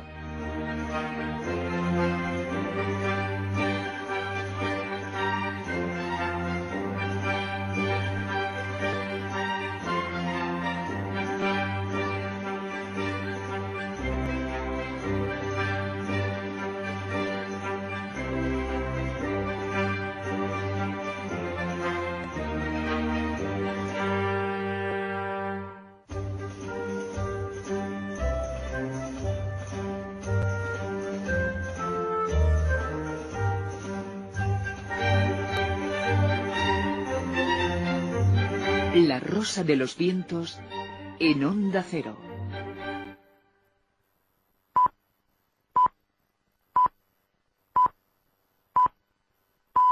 Son las dos, la una en Canarias. Onda Cero. Noticias. Buenas noches. El Papa Juan Pablo II no ha podido en el primer Vía Crucis del milenio seguir toda la procesión del Viernes Santo. Sus limitaciones físicas no le han permitido seguir la marcha que ha recorrido el Coliseo Romano en su interior. A pesar de esta circunstancia, el pontífice sí se ha podido unir a las dos últimas estaciones, portando la última la cruz. Más de 50.000 personas han orado junto al Papa por la unidad de los cristianos y los judíos.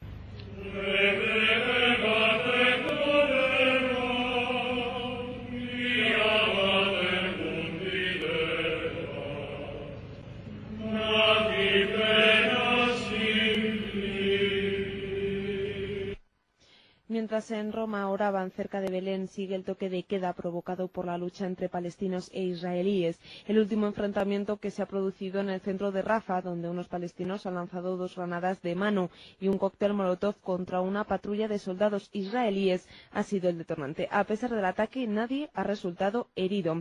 Y en Crónica Política seguimos pendientes de la decisión del fiscal general del Estado, Jesús Cardenal, de investigar el origen y los responsables de la elaboración del llamado carné vasco. El Gobierno, a través del ministro de la Presidencia, Juan José Lucas, se ha alabado esta posición. Según Lucas, este paso trata de garantizar el cumplimiento de la legali- legalidad y legitimidad de los comicios vascos. Y en esa defensa de la legalidad hace muy bien el fiscal general del Estado de exigir que se cumplan todos y cada uno de los requisitos de legitimidad y de legalidad de las personas que vayan a votar y de, el uso de esa identificación a través de los procedimientos que el Estado de Derecho pone en manos de los ciudadanos. Por consiguiente, que el fiscal general del Estado exija el cumplimiento de la ley es la primera de sus obligaciones y por consiguiente merece el respeto del Poder Ejecutivo. Por su parte, desde el gobierno vasco, su lehendakari Juan José Ibarreche ha preferido no dar publicidad gratuita a nadie, ha dicho, y ha lanzado un mensaje de tolerancia y respeto a la separación de poderes. Fuera ya de nuestras fronteras, seguimos atentos de las relaciones diplomáticas entre Estados Unidos y China, muy deterioradas a raíz del incidente con el caza chino.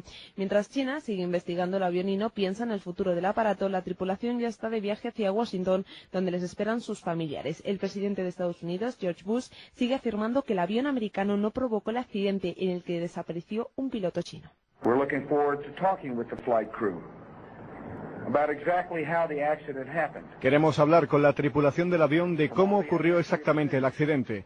Por los datos que tenemos, el avión estadounidense estaba trabajando en el espacio aéreo internacional, de acuerdo con todas las leyes, procedimientos y reglas, y no hizo nada para provocar el accidente.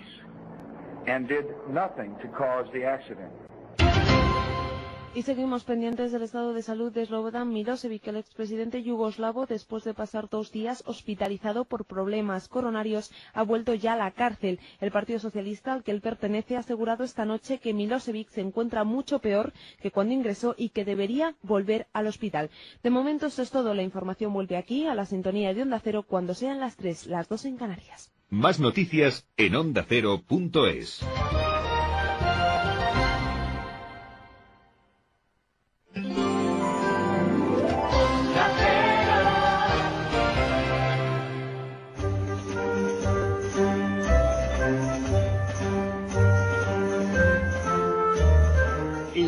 de los vientos en onda cero. Gracias a todos por estar ahí disfrutando del viernes. Hemos dejado atrás el Viernes Santo, pero estamos aquí disfrutando de él en nuestra Rosa de los Vientos, conversando sobre los asuntos que tanto nos mueven, que tanto nos apasionan. Hoy los misterios de la pasión, los misterios que rodean a la figura más carismática del cristianismo, la figura de Jesucristo. Hemos comentado muchos aspectos ya en la primera hora con Bruno Cardeñosa, Jesús Callejo, Carlos Canales y estamos dispuestos a afrontar nuevos retos.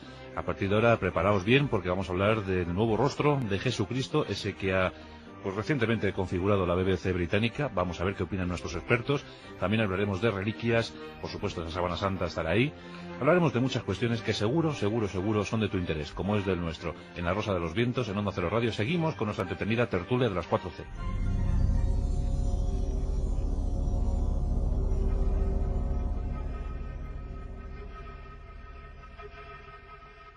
en nuestra programación especial de Semana Santa. Hemos tenido una hora pues muy muy apasionada, ¿verdad, Carlos? Pues la verdad es que sí. Yo espero que le haya gustado a todo el mundo. Yo creo que como prólogo no ha estado mal, Jesús. Yo creo que como prólogo tiene, como diría ¿no? uno, dice, no es el prólogo, ¿cómo será lo demás? Lo pasa, Bruno, que nuestros prólogos pues son así, ¿verdad? De, de una hora. Claro, como Cuando empezamos a saborear esto. Claro, claro. hay que. No, además, afortunadamente, cuando hay tiempo para hablar de las cosas, es, Pues da gusto. da, da gusto porque cuando no, no hay esas, esas lógicas, por otra parte, eh, ataduras del tiempo, pues bueno, salen a relucir cosas y yo creo que además los oyentes lo disfrutan y lo agradecen. Sí. Agradecerían prólogos de tres horas y estarían encantados. Porque Sí. a veces un prólogo bien contado, un prólogo bien contado, yo creo que es el, el mejor anticipo de un libro. Muy bien. Pues eh, claro que sí, muchas veces los, los amigos de la zona cero nos dicen, bueno, ¿por qué no habláis de, de- de- de cosas relacionadas con, con Jesús o con, con la Biblia en, la tertulia? Bueno, pues, pues, ya sabéis cómo es la, la forma de actuar de la tertulia 4C. Son muchos asuntos, son las novedades, nos dedicamos sobre todo a las novedades que ha generado la semana y por eso pues eh, hoy es el momento propicio, hoy que tenemos pues tres horas a vuestra disposición, tres horas es el momento ideal para poder hablar de estos asuntos que sobre todo eso, hay que hablar de ellos con sosiego. Porque fijaos, por ejemplo, este, este asunto que fue de actualidad hace dos o tres semanas, la reconstrucción de- del rostro de Jesús, que yo creo, eh, ¿verdad, Carlos, Jesús, Bruno, que hemos quedado todos perplejos, ¿no? Eh, yo no sé si es que, eh, no sé, no- nos esperamos otra cosa. A lo mejor también lo que hablamos antes, Carlos. El cine nos ha influido demasiado. Mm, quizás sí, pero vamos, en, en el caso personal mío, que no estoy convencido de que Jesús no se parecía mucho al, al del cine, bueno, ya, ya Bruno lo ha hundido en la miseria cuando ha dicho esto de que está todo lleno de ancianos alrededor y no había ninguno. Sí. Probablemente. No es que hubiera ninguno, pero si la Ahora- esperanza de vida de, de un pueblo es de 50, ahora- 55 años, por supuesto que habría gente de 70 y de 90, pero no. Pero era muy poco, era muy claro. poco. Pero claro, a mí me ocurrió el otro día haciendo el pasaje de la historia de Cleopatra, Sí. eh, pues es que yo no me podía imaginar a otra que no fuera Elizabeth Taylor. Yo siempre me imagino a la Obelix, ya lo sabéis, así que... Yo siempre la de Asterix y Obelix, así. La, la Cleopatra, Sí. mm, para mí es la de Asterix y Obelix porque es que es la perfección de la descripción clásica. O sea, Sí, la sí, era sí. muy larga, Sí. era más o menos... Ya sabes lo que dijo Pascal, ¿no? Dice, si esta señora hubiese tenido la nariz un poquito más cortita y respingona, hubiese cambiado la faz del planeta. No lo sé, parece que Cesarión le sale algo tonto, la verdad es que no, no tuvo suerte. Va a ser a la hoguera por hereje. bueno, que lo del rostro de Jesús, bueno, a mí no me ha sorprendido demasiado porque eso es lo, que me parece increíble es, desde luego, el impacto publicitario que han conseguido tener. Hay, hay que jorobarse el Si- éxito si que han tenido eso- con algo tan absurdo. Si querían eso, lo han conseguido. Bueno, eh, no sé, es que me parece algo totalmente, primero, imposible de demostrar. Y segundo, absurdo. Absurdo. Y, y tercero, que lo han hecho fatal. bueno, eso es verdad. Claro, pero que en ningún momento han dicho que sea el rostro de Jesús. No, es absurdo, es O sea, absurdo. Pero es que ni siquiera es el rostro Es promedio. un rostro típico de un judío del siglo I. Pero tampoco era tan feo. Pero- pero eso- bueno, y si lo eran, no eran como Es Es que no es ellos, así. ellos saben perfectamente Ahora que lo han no era. vendido así. Lo que pasa que, es decir, han vendido un titular diferente al Eso contenido, es- ¿no? exacto, eso es el titular, exacto, pero no el eso es un- contenido. Eso es un fraude. Lo que tú has Han vendido Ahora- un titular claramente diferente a lo que luego decía la información. Pero cuando lees la información te das cuenta de que no. Dices, a ver, que es, es es un es- rostro polémico, pero basado en un cráneo de un judío del siglo I. Pero- y después... pues, Pero con es la letra pequeña. Es un, es un rostro promedio, es decir, la verdad es que la población de Judea estaba tan mezclada en el siglo I como ahora. Y, eso es como si de repente tú decís hacer excavaciones de restos humanos encontrados en España del siglo I, donde la población curiosamente no estaba tan mezclada como ahora, y de coger una persona de la costa mediterránea, coger a alguien del, del interior de la meseta norte, es que a lo mejor había 10 centímetros de estatura de media diferencia. Es, decir, es que no se parecían en nada, literalmente. Hablaban idiomas totalmente diferentes los que no hablaban latín. Y bueno, y en el caso de Judea, donde había poblaciones filisteas en el interior, población siria en las montañas, varios tipos de judíos con todo el movimiento que habían tenido. Bueno, ¿quién te dice que el cráneo no correspondía, bueno, aunque fuera probablemente un judío, y es casi seguro que lo es, por el tipo de enterramiento y la forma, bueno, que no tenía sangre persa, que no la tenía egipcia, que no la tenía siria. Es decir, no existía un egipcio promedio, como no existe ahora mismo un egipcio, un, perdón, un, un- judío promedio, como no existe hoy en día. Es como si dentro de 200 años alguien coge el cráneo de Rabin y decide que Isaac Rabin era el judío promedio de la judía del, Israel de hoy. Bueno, pues totalmente absurdo. Hay judíos de origen polaco, los de origen marroquí, los de origen etíope. No se parecen en nada uno a otro. Yo creo que lo que han buscado, aparte del fraude, porque no coincide la noticia con el titular, es pura y simplemente el impacto propagandístico que han imaginado que podían tener filtrando una noticia de este tipo. Y han a fe, eso, a fe que lo han conseguido. Todo viene de un documental preparado por la BBC, un documental, creo recordar, Bruno, que era un documental de tres horas, eh, de tres horas, que les ha costado pues unos casi 400 millones de pesetas, y bueno, pues había que buscar el, el enganche, ¿no? El, el hacer el marketing, y la verdad es que lo, lo han conseguido. Pero bueno, ya por No, lo lo han que... conseguido de forma extraordinaria. Claro, o- por, lo- por lo que os estoy escuchando, yo creo que muy pocos se van a perder ese documental cuando lo emitan, ¿no? Sí, a ver si algún día llega a nuestro a nuestro país. Hombre, supongo Llegará, que, llegará. que todos los que tengan eh, Discovery Channel, pues eh, que es una de las productoras, pues antes o después aparecerá en, Jesús. en, en ese canal. es decir, Claro. prepara, prepara las cintas. El Callejo, que lo graba todo. Hombre, hay que estar al día. La única persona del mundo que tiene grabado el tilacino. Claro, lo, lo que han hecho los investigadores y Richard Neff, que es el, el principal responsable de, de este, de este rostro, ha sido eh, fundamentalmente dos cosas. Yo creo que, que incluso mm, científicamente hablando no ha habido un criterio. Creo que se podría reconstruir o intentar reconstruir más fielmente el rostro de, Jesús de lo que se ha hecho. No creo que haya habido una investigación profunda por una simple razón. En primer lugar, se ha cogido únicamente, únicamente el cráneo, el cráneo de un judío enterrado eh, según la, tradición judaica y por lo tanto, pues evidentemente corresponde a, un judío. No sabemos un judío tipo o un judío que no era mm, no representativo. Un solo judío y se ha hecho una reconstrucción digital, posteriormente una reconstrucción de cubrir el, cráneo pues con, con, barros, con plastilinas, como se hace en técnicas forenses actualmente. Y nos ha salido la reconstrucción, la reconstrucción de, de la persona que estaba enterrada ahí. Yo creo que hubiera sido mucho más acertado pues coger 100 enterramientos diferentes y establecer una media entre esos personajes. Lo que ocurre que eso es mucho claro. más Eso costoso se ha y hecho además costado- varias veces, Bruno. Pero, pero Aquí claro, la conclusión Por sería la ejemplo, misma. no, no, no, pero, con todo te hubiera dado de un rostro, del siglo te hubiera I. dado un rostro más, más próximo a la posible realidad. Sí. Es decir, eso, por ejemplo, se hizo con las momias chinas del Urumchi, con las momias chinas de, del Ovnor, cuando lo que se buscó es, de todos los enterramientos, intentar sacar un rostro promedio aproximado por reconstrucción de masilla y modeado de los cráneos. Con ello sí se sabía aproximadamente en término medio qué tipo de gente era aquella, qué rostro prototípico podían dar. Bueno, eso efectivamente se podía haber hecho, pero claro, como ha dicho Bruno, eso era carísimo, muy costoso y muy lento. Y luego, y han hecho otra cosa que es, eh, gracias a unas eh, sinagogas del siglo III, en la zona de, de la actual Irak, tratar, porque claro, evidentemente la reconstrucción en función del, del cráneo no nos da un detalle de cómo tenía el pelo, si largo, si corto, si tenía barba, si la barba la tenía recortada, si tenía diferencia entre el bigote y la barba. Es decir, todo eso no te lo da un cráneo. Y únicamente se han basado únicamente en las representaciones artísticas de una sinagoga, de, de una sinagoga del siglo III, del siglo III, es decir, mucho posterior a Jesús, y tratar de adecuar eh, esa moda judía del siglo III a la, a la moda judía del siglo I, a ver si la barba se llevaba así o se llevaba de, de esta u otra forma. Por lo tanto, no creo que haya habido Además, mucha... este documental es polémico por dos razones. Este documental de la BBC, no solo por el supuesto rostro de Jesús que nos han vendido a bombo y platillo, sino porque en el documental, si no recuerdo mal, se plantea una hipótesis bastante herética ya hace tiempo, pero que todavía veo que pervive. Y es que Je- Judas no fue un traidor, sino que lo que hizo fue, bueno, pues concertar una cita entre Jesús y Poncio Pilato, y Bueno, eso es lo que eso después... es lo que en todas las películas de mafiosos Ah, hace el traidor. claro. O sea, de O sea, todas que sí maneras. que lo plantean como hipótesis, pero como hipótesis verosímil, por lo tanto se cargan de un plumazo también Sí, toda sí, la sí. teoría de que Judas era un traidor. Efectivamente, es que es la otra gran noticia que ha deparado este. O sea, que era este un, era un mediador. Sí, bueno, diciendo era, que el que era el que llevaba la la entrevista agenda. El que llevaba la agenda y le dijo mañana a las 8 con Herodes. Mal asunto. En fin, pues eh, que la BBC quería apuntarse el tanto y desde luego se lo ha apuntado el tanto de la expectación. No sé si luego el tanto de la credibilidad. Eso ya es otra cuestión, ¿verdad? Vamos a ver, No, habrá que verlo. vamos a ver. Bueno, Jesús, ¿y no se podían haber fijado en la sábana santa con, con el- un negativo que tenían ahí espectacular para haber hecho la foto? Claro, es que cuando se habla del rostro de Jesús, pues todos yo creo que por deformación pensamos siempre en el rostro de, de la sábana santa, ¿no? En este lienzo turinés. Pero mm, si quieres hago una pequeña observación porque Sí. no iba tan desencaminado este rostro cetrino que nos presenta la BBC, bajito, de piel oscura, con barba, bigote, pelo rizado, porque los testimonios de los primeros padres de la Iglesia iban un poco en esa misma línea. Que esto puede sorprender ¿no? a muchísimos oyentes, pero mm, al principio se le describía de una forma pues muy similar al rostro que nos han presentado ¿no? en distintos medios de comunicación. Y, bueno, he hecho, he cogido unos cuantos testimonios como exponente, realmente nuestros primeros padres sí veían a, a Jesús, a Jesucristo, pues con un aspecto totalmente distinto y menos idealizado de como lo vemos ahora. Por ejemplo, San Justino, que vivió en el siglo II. Pues para San Justino Jesús era casi un deforme. Para Tertuliano carecía de hermosura y su cuerpo no era siquiera no era ni siquiera de genuina forma humana, como dice textualmente.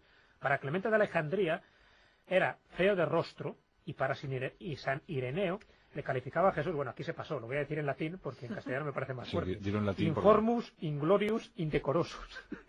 Bueno, es- esto lo decían los primeros padres de Los la Iglesia. primeros padres Sí. de la Iglesia. En, en- en- en el siglo II, o sea, es decir, bueno, cuando había una tradición oral no suficientemente eh, tergiversada.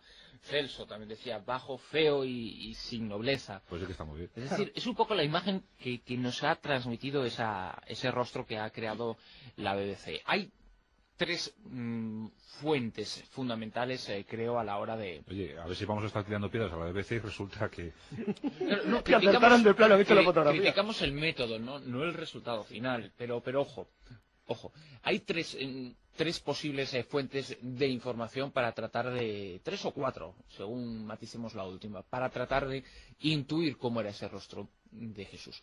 Uno de ellos son las profecías del, del Antiguo Testamento, ¿no? que nos presentan eh, un asunto, el de la apariencia de Jesús, que no nos resuelve gran cosa, porque los salmos, al hablar de, de Jesús, nos lo presenta como todo hermosura, un poco la imagen idealizada que tenemos. Sin embargo, Isaías nos lo presenta como una persona que, vamos, que un poco la, la imagen que estamos reflejando aquí, ¿no? que más merecía la pena simplemente compadecerse de él y no, y no admirarlo por su apariencia física. Luego están los testimonios de los primeros padres de la Iglesia, que son los que acaba de, explicar Jesús. Y en tercer lugar, en tercer lugar estaría lo que sería un planteamiento científico del asunto. En el cual, por supuesto, no hay que obviar los, los datos que hemos dado, sobre todo el de los primeros padres de la Iglesia, porque las profecías, pues mira, se podían haber cumplido como se podían no haber cumplido, que es lo, que es lo más probable, ¿no? Y un planteamiento científico del, del asunto, independientemente de la sábana santa, independientemente de la sábana santa, nos obliga a hacernos un, un planteamiento primero psicosocial de cómo debería ser una persona que tuviera esa aceptación, eh, donde la imagen, queramos o no, siempre tiene una, una importancia vital. Sí, esa imagen, ojo, de belleza y esa, eh, ese ideal de belleza que tenemos ahora correspondía al ideal de belleza que existía hace, hace dos mil años. Y tercero, tratar de de es- estipular si cada uno de los actos que cometió Jesús o que cometieron sobre Jesús podrían darnos alguna pista de, de su, por lo menos de su contextura física. Si admitimos el relato bíblico de, la pasión y muerte de Jesús, estamos con toda seguridad ante una persona que no puede ser endeble, que no puede ser eh, la que se nos ha pintado en esos, en esos relatos de los padres, de los primeros padres de la Iglesia, sino que tendríamos que enfrentarnos a una persona poderosa físicamente, como es de suponer de alguien que viajó, que se movió, que un poco convivía con la naturaleza más que cualquier... eh, Aguantó el desierto. que aguantó el desierto, es decir, que superó una serie de pruebas físicas, incluso esa última, que solo con un poderío físico extraordinario, extraordinario, podría lograrse. Y claro, esa es la apariencia, la apariencia que luego nos refleja la sábana santa, pero para deducir esa apariencia no nos hace falta la sábana santa. ¿Qué hace la sábana santa? Pues confirmar esa imagen que, ojo, no rompe del todo con, con un sector de la población judía de la época que sí que tenía ese aspecto más robusto y más, eh, más fuerte y más alto que el, que el resto de la población. Y estoy prácticamente convencido de que la imagen de Jesús tendría que corresponder a una persona de esa fortaleza física, un 80 de altura, que es lo que tiene el hombre de la sábana, un 81, un 83, de unos 80 kilos de peso, es decir, incluso su proporción altura-peso está por encima de, de- de la media, de la media en, en peso, a una persona que destacaría por, por su fortaleza física para superar ese castigo. Cualquier un, un ciudadano, yo mismo, por supuesto, no hubiera superado con vida el castigo al que fue sometido Jesús antes de llegar a la cruz. No- yo nunca hubiera llegado a la cruz, ¿no? Entonces, bueno, pues habría que plantearse es- ese hecho independientemente de su aspecto físico, de cómo serían sus ojos, de cómo sería su pelo. Eso es absolutamente indescifrable, ni siquiera gracias a la sábana santa, que nos tapa los ojos porque hay unas monedas delante de, justo encima de la, de la cuenca ocular que nos impide saber si los tenía grandes, pequeños, si azules o marrones, que aparentemente puede llevar el pelo recogido como que no, es decir, no podemos saber si llevaba media melena, melena larga, no podemos saber el color de su pelo, aunque evidentemente, lo decía Jesús hace un momento, tendría que ser de, de tonalidad clara, canosa o castaña clara, es decir, no podemos saber esos detalles, pero sí podemos hacernos una idea de que la complexión física de Jesús en nada se parece al Cristo endeble de Cefirelli o al Cristo de 1,60 de la película de Scorsese. Sin embargo, Bruno, la imagen que, que nos presenta el lienzo de Turín contradice algo algunos de los pasajes evangélicos y es precisamente cuando Judas le traiciona tiene que darle un beso para que los romanos identifiquen quién de todos es el que tienen que, que capturar, ¿no?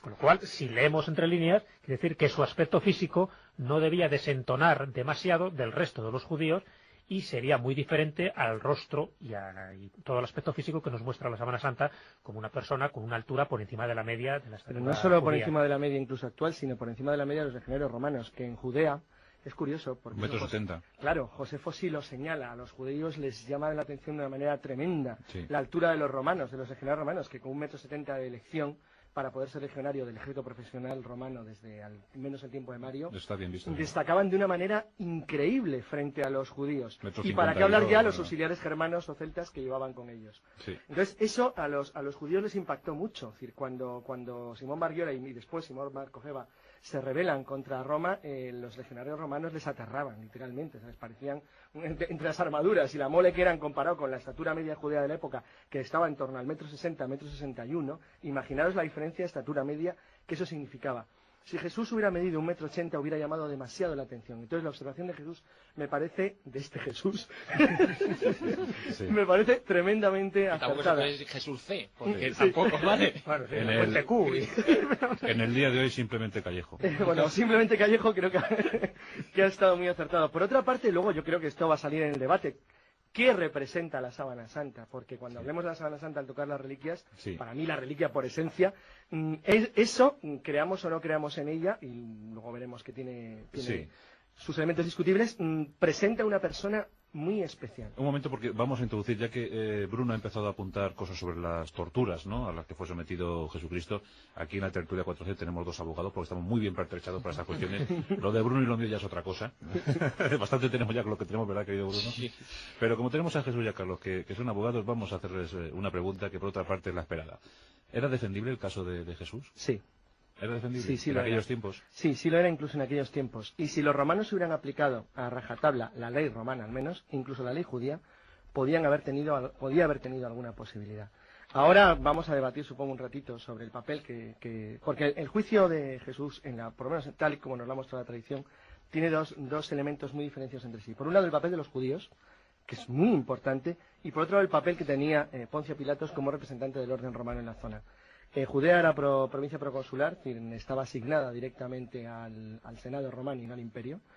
eh, una provincia imperial, por ejemplo, de Egipto, lo cual quiere decir que no es que fuera un segundo orden, sino que tenía una importancia para lo que era la economía, porque era un concepto básicamente económico menor que el que, por ejemplo, tenía el delta del Nilo, que era el gran granero romano. Eh, cuando Poncio Pilatos interviene en el juicio, él podía haber tomado dos actitudes. Una intervención directa, de verdad, yo tengo la fuerza, yo aplico lo que creo que es justo, o bien lo que hizo, que lo famoso que ha recogido la historia de lavarse las manos, es decir, deja en manos de los judíos el eh, juicio, es la responsabilidad del castigo a Jesús. Cuando digo que era defendible, es que pienso sinceramente que hay una enorme manipulación, es un juicio, eh, es un juicio taimado, llevado con muy mala intención y profundamente alterado para dar el resultado apetecido a los enemigos de los seguidores de Jesús. Y no para aplicar justicia, o al menos justicia en el sentido romano, que comparó con los judíos es un modelo de justicia, claro. O sea, que llegó ya sentenciado. Sí, efectivamente. Yo pienso claramente que habían tomado ya la decisión y que realmente el, juicio, bueno, ahora sería declarado claramente nulo, por lo menos en un país occidental. No, no, evidentemente, vamos, el juicio contra Jesús fue una farsa absoluta, respecto de faltas, irregularidades procesales, desde el principio hasta el final. Y aquí, eh, ya lo dije el año pasado, pero lo vuelvo a repetir, hay que quiero romper una lanza a favor de los judíos. Siempre se les ha acusado a los judíos como los culpables de la crucifixión de Jesucristo y yo creo que en absoluto. Aquí los culpables, los culpables fueron los romanos porque ellos fueron los que realmente tuvieron en su mano el poder absolver a Jesucristo. Es verdad que la presión judía era muy fuerte en aquel momento, pero era una presión bastante orquestada, orquestada por el Sanedrín y por intereses romanos para que esto fuera así. No interesaba, era una persona pues bastante preocupante y que inquietaba mucho a las instituciones, tanto religiosas como institucionales, la figura de Jesús de Nazaret. Entonces hubo muchísimas irregularidades. Yo aquí, a modo de, sinopsis, pues he recogido unas cuantas pues para hacerlo muy rápido, pero que sí veamos todas estas irregularidades procesales como el arresto, el arresto ilegal, ya que no se hace por la autoridad romana. Con lo cual, eso ya contradecía, por supuesto, todas las normas de la época.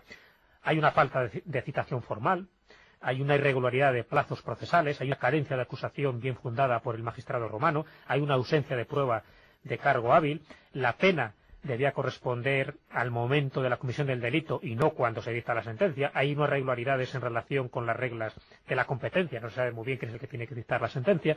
Y el magistrado proclama por tres veces inocencia y luego termina por condenarle a muerte. Pero estas son unas pocas de las muchas irregularidades que se han, detectado, por no decir, bueno, pues eso, que se le eh, captura cuando en, el momento que no es eh, el adecuado, precisamente porque se estaba celebrando una fiesta judía y cosas similares.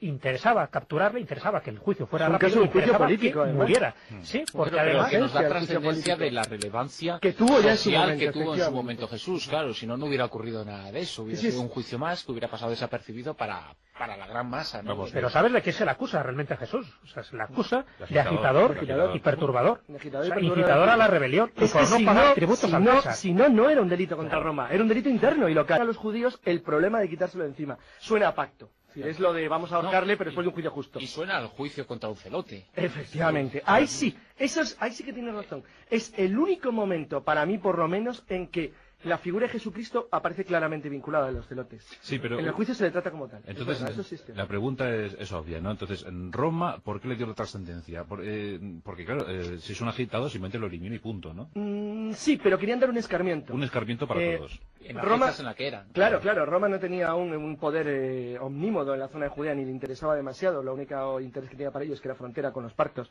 en más allá del desierto y por tanto era peligroso, pero no podían arriesgarse a tener un follón de orden público. Entonces, a la acusarle precisamente de un delito de no pagar tributos, un delito fiscal, y al acusarle de un delito de agitación o de promoción de la rebelión, está considerándolo enemigo de Roma y por lo tanto están en el derecho de detenerle, juzgarle y hacer con él prácticamente lo que quieran. O sea, liquidemos este asunto y que se propague el mensaje. Claro, pero, es decir, es una especie de castigo ejemplar. Bueno, además, luego el castigo que se le somete es aterrador, lo cual demuestra claramente que se busca un castigo ejemplar.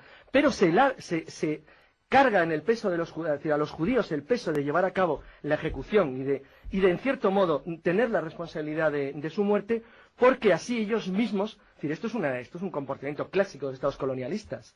Es decir, yo detengo al rebelde indio, o al rebelde chino, o al rebelde africano, hago que sus propios compatriotas de judío y que ellos mismos le condenen.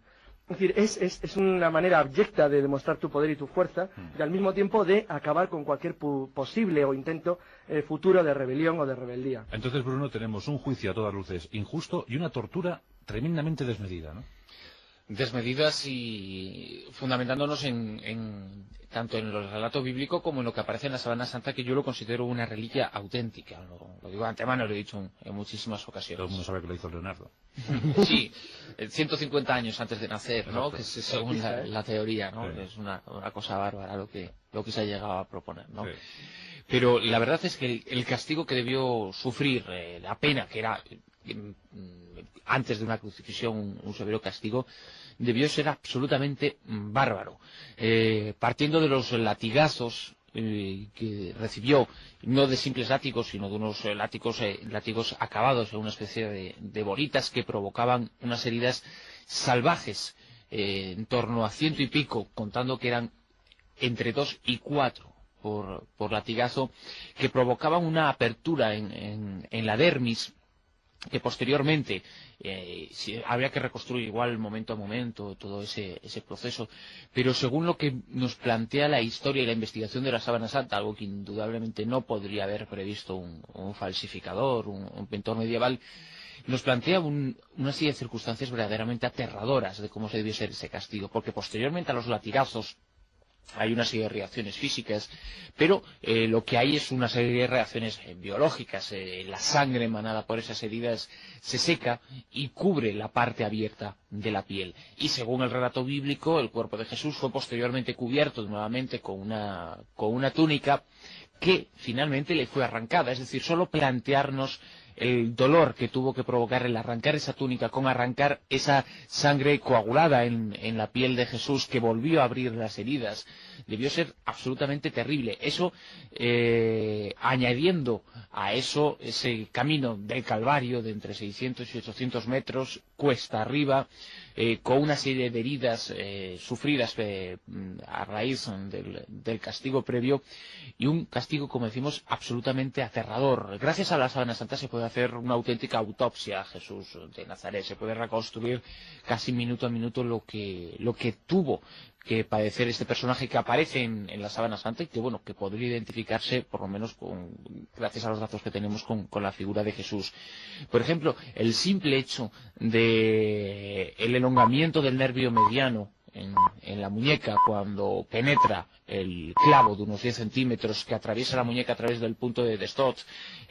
para clavar cada uno de los eh, brazos a la cruz, ese elongamiento se ha calculado en unos 30 centímetros. Unos 30 centímetros, Por cierto, nada más y nada menos. que- Con un dolor absolutamente indescriptible que tuvo que sufrir. Que luego lo hablaremos, pero el hecho de que la sábana santa fije ahí el punto de la colocación del clavo en las muñecas es sorprendente porque demuestra que al menos quien la falsificó, es decir, según los, los que se oponen a que sea una, una reliquia auténtica, mm, conocía muy bien lo que tenían que haber hecho los romanos, porque en las muñecas, tal, en la palma de la mano, tal y como lo representan en la iconografía cristiana, se hubiera desgarrado inmediatamente, no hubiera Claro, durado en la cruz ni 30 segundos. Parte del castigo consistía en eso, es decir, en sujetarlo por un punto seguro para que la muerte no fuera instantánea en la además cruz, te rompe, el clavarte eso te rompe automáticamente el, el nervio mediano, lo cual, bueno, tiene que ser uno de los mayores dolores que se pueden Por imaginar. eso antes hablamos... Dicen que es uno de los dolores más grandes. que Es se pueden espantoso, ese, todo, te corre todo el sistema nervioso central. Por eso antes bien, bien se comentaba que, que Jesucristo debió ser un hombre tremendamente fuerte, ¿no? Claro, por eso es lo, lo que decíamos, que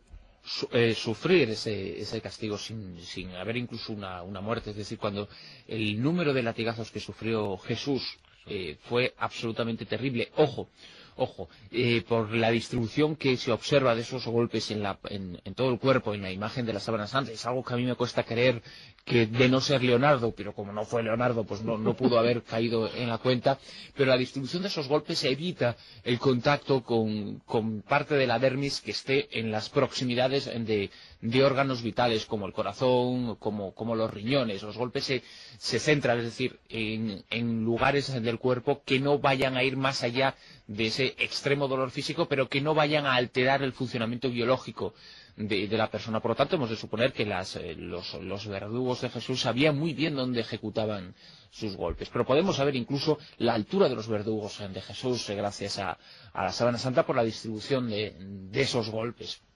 Uno de ellos, evidentemente, era, efectivamente era una persona de, de gran estatura, una persona que podría parecerse físicamente en- por su complexión a Jesús, y otro era una persona de, menor estatura. Eso se sabe gracias a la dirección de, de esos eh, golpes y a la altura en la que se dan esos golpes. Pero tenemos otros detalles interesantísimos. El hecho de que se buscó el sufrimiento y de que el supuesto falsificador tuvo acceso a una información que la ciencia no ha tenido hasta el, a una y a, a muchas otras informaciones que no ha tenido acceso la ciencia, pero no hay ningún documento, porque no hay ningún documento que nos explique cómo en la Palestina del siglo I se ejecutaban las crucifixiones. El único, la única prueba eh, fiable que se ha encontrado es un enterramiento del año 1968, descubierto en el año 1968, del único cadáver crucificado que existe de, de aquella época. Y la forma en la que está crucificado, la forma en donde le aparecen clavados los, los clavos, tanto en manos como en piernas, es exactamente la misma que aparecía en la sábana santa. Pero la sábana santa es mucho anterior a ese descubrimiento que certificó cómo era por lo menos uno de los de las crucifixiones que hubo en aquella época. Y hay otra serie de informaciones que bueno que nos, eh, nos harían extendernos quizá demasiado, pero que nos presenta un castigo absolutamente estremecedor, estremecedor. Posiblemente Jesús eh, murió eh, como consecuencia de, de una serie de, mm, de hechos comunes que provocó un colapso total en el cuerpo. Probablemente no hay una sola razón y causa de, la muerte de Jesús. Luego está la, famosa coronación de espinas, esas 50 heridas que se perciben en, en la sábana santa y que parece que responden a un hecho real según los, testimonios evangélicos y que provocó un- unos pro- problemas de riego sanguíneo hacia el, cerebro. La sangre salía para afuera en vez de, nutrir al, cerebro y aquello mm, tuvo que provocar indefectiblemente eh, un estado eh, en Jesús absolutamente lamentable antes incluso de, la crucifixión. La lanza en el costado que, bueno, que aparentemente por los rastros físicos que han aparecido en, la imagen de la sábana, probablemente la recibió estando ya muerto. Es el- y, esa imagen también aparece reflejado la salida de, algo parecido a agua. Lo que ocurre es que los investigadores y los médicos que han investigado la sábana santa no se ponen de acuerdo si ese, ese impacto lo recibió poco antes de la muerte o lo recibió poco después eh, de, la muerte, ¿no? Pero eso ya fue, en todo caso, el último episodio de, de una película absolutamente terrible. Yo un- recuerdo que hace, hace un tiempo tuve que reconstruir para un reportaje, eh, gracias a lo que se sabía a través de la Sábana Santa, cómo había sido todo ese castigo y a uno se le ponen los pelos de punta solo de, de recordar cada uno de esos pasos y del dolor tan brutal y tan salvaje que tuvo que sufrir esa y otras personas en la época. ojo. Sí, pero yo quería comentar que cuando has dicho lo de otras personas acabas de decir algo muy importante. Jesús tuvo que ser eh, alguien notorio en el lugar. Porque, aunque la crucifixión era, un- era, un- era una condena típica de clases bajas o de gente para los romanos eh, menor, sí que era cierto que lo utilizaban como castigo ejemplar. No era habitual tampoco que fueran por ahí crucificando a la gente, hacían otras cosas. Y eso era Espartaco. Eh, bueno, Espartaco hicieron toda la vía Apua, toda la vía, todo el, todo el camino desde, el- desde Roma hasta Capua por eh, eso. con crucificados. Sí, bueno, debía llamar bastante la atención, claro, porque eran decenas de kilómetros de crucificados. Pero ese fue un ejemplo, es decir, lo hicieron cuando la mayor rebelión de esclavos, de esclavos armados contra el pueblo romano. Es decir, los romanos eh, tenían otras cosas mucho mejores para los reos, desde cavar en las minas, que era muy rentable, hasta remar en las galeras. Es decir, se les- eran muy imaginativos. Entonces, cuando decían acabar con alguien y más de esa manera, es porque primero querían matarle, punto supongo que estar en las minas de oro también acaba matándote.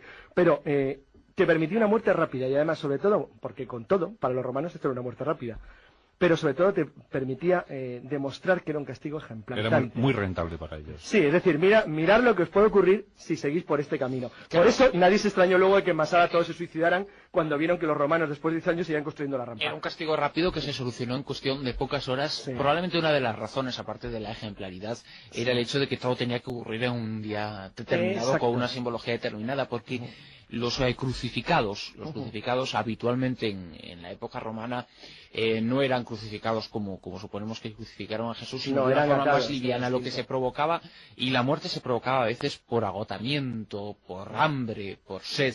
Había crucificados que duraban una semana. O porque devoraran los buitres, como hicieron con los. Espartaco, Claro, o los era- roedores, Era, una, era un- una muerte agónica y lo que se buscaba era la muerte agónica, no la muerte por, por razones puramente físicas y, y biológicas de forma rápida, que es lo que ocurrió con Jesús. La suya entre comillas, por supuesto, fue una muerte rápida, ¿no? Para lo, lo común de la época de las crucifixiones. Desde luego, Jesús, escuchando a Bruno, sigue estremeciendo el relato. ¿eh? Debe ser tremendo. aquello. Sigue, ¿no? Además, él hacía mención a un reportaje que yo he leído y releído, que es La Pasión Minuto a Minuto, que, que publicó un monográfico de allá, que desde luego, vamos, te estremece, ¿no? Porque lo vas leyendo, así que me pongo en su piel cuando lo estuvo escribiendo. Sí, sí, sí. Y tiene que ser tremendo porque eh, no elude ningún detalle, por escabroso que sea, y realmente, pues, eh, te llegas, ¿no? Te llegas a poner un poco en la piel de Jesús y de lo que estuvo pasando y de las salvajadas, ¿no? Que le estuvieron haciendo los romanos. Entonces, ¿a qué se pueden aferrar, eh, Jesús, los críticos de la Sábana Santa? ¿A qué se pueden aferrar? Sencillamente a la prueba del carbono 14, que es la única prueba científica que existe hasta el momento. Eso es para que es una prueba muy controvertida, evidentemente, ¿no? Recordemos que en noviembre de 1988, cuando el cardenal de Turín, eh, Anastasio Ballestrero, pues comunica a, a todo el mundo las pruebas finales del carbono 14 que se habían realizado, recordemos, en tres laboratorios distintos, que era el de Turis, el de Oxford y el de Tucson en Arizona, pues eh, cae como un jarro de agua fría para toda la cristiandad, para todos los fieles, para todos los creyentes, porque lo que está diciendo ni más ni menos es que la sábana santa tan venerada como una reliquia, como la reliquia auténtica de Jesucristo, la sábana de Turín, pues era ni más ni menos una falsificación medieval, una tela datada entre los años 1260 y 1390. Y a partir de ahí, pues eh, es como si empezara una nueva etapa de la sábana santa. ahí deja de haber pues las convicciones de la, de la fe para entrar en las pruebas de la ciencia. Se empieza a cuestionar muchísimas de las cosas, diciendo que, bueno, que realmente esa datación adolece de muchas inexactitudes y desde entonces, desde el año 88 hasta ahora, pues la polémica no ha hecho más que, que surgir, ¿no? Porque hay muchísimas otras investigaciones, no de la prueba del carbono 14, que esa por ahora es la definitiva, es decir, que si nos atenemos a lo que dicen los postulados de la ciencia, ahora mismo la sábana santa es una falsificación medieval. Lo que no entran es en el detalle cómo se pudo haber hecho esa falsificación medieval cuando se sabe que no hay ningún pigmento de pintura y que esa imagen pues tiene bueno pues todos los rasgos de una imagen tridimensional, es decir, de una tecnología que era imposible que conocieran pues eh, gente que, que supera los eh, bueno pues la protofotografía que es lo un poco que decían de, de Leonardo da Vinci se le atribuye un poco a Leonardo da Vinci porque era el único capaz en aquella época y, y ojo que ya hay una contradicción también cronológica histórica porque eh, Leonardo da Vinci como todos sabemos es posterior a estas fechas que data la, la sábana santa.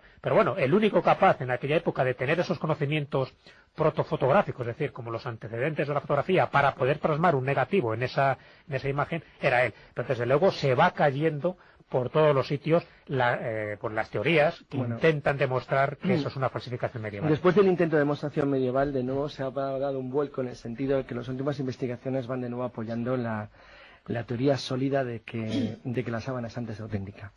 Hay algunos elementos que, bueno, sería larguísimo de contar, podríamos estar hablando un programa entero, pero digamos que, mm, aquí hablo de una manera, en, en mi caso personal, que he leído al- algunas cosas, por decir muchas, sobre la sábana santa, he intentado ser objetivo en la medida de lo posible. Frente a la, a la imagen clásica de la falsificación que se apoya, como ha dicho Jesús, en la prueba del carbono 14, que lo dataría en el siglo XII-XIII, aproximadamente, más bien 13 13-14. Sí, más bien 13-14. Mm, Realmente todo lo demás apoya claramente la teoría de que hay algo muy raro. Por de pronto hay algo sorprendente. Mm, Para cualquier aficionado al diseño gráfico, es saben en- enseguida, en cuanto que lo ve, que ahí hay algo que no es normal. Y es que eh, la intensidad de la imagen varía en función de la distancia que tuvo que existir entre lo que impregnó el lienzo y el lienzo como tal, es decir, es tridimensional. Eso ya de principio es tan absolutamente extraño, es tan difícil hacer eso en una impregnación de tela.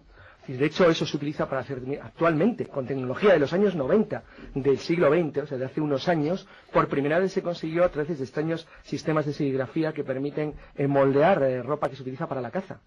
Pero hacer algo así en el siglo, bueno, en el siglo XIII y el XVI, y para qué hablar en la época de Jesucristo, a mí se me antoja, lo digo francamente, imposible. Hay, perdón. Sí, estamos de acuerdo entonces que la Sábana Santa es la mayor reliquia de la Yo lo considero como tal, después de, de- de- y los digo sinceramente, después de objetivamente haber visto tanto los pros como los contras, dentro de las limitaciones científicas que yo pueda tener, y lo digo en los dos sentidos, a favor de los que creen, de los que no creen, creo sinceramente que es- tiene mucho más peso y es mucho más sólida la teoría que dice que eh, es auténtica. Hay una cruz a cuestas que lleva la, la sábana santa y no es precisamente en la que se supone que época, crucificaron ¿eh? a, a Jesús, sino y precisamente el, el estudio por, por medio del radiocarbono 14. ¿no?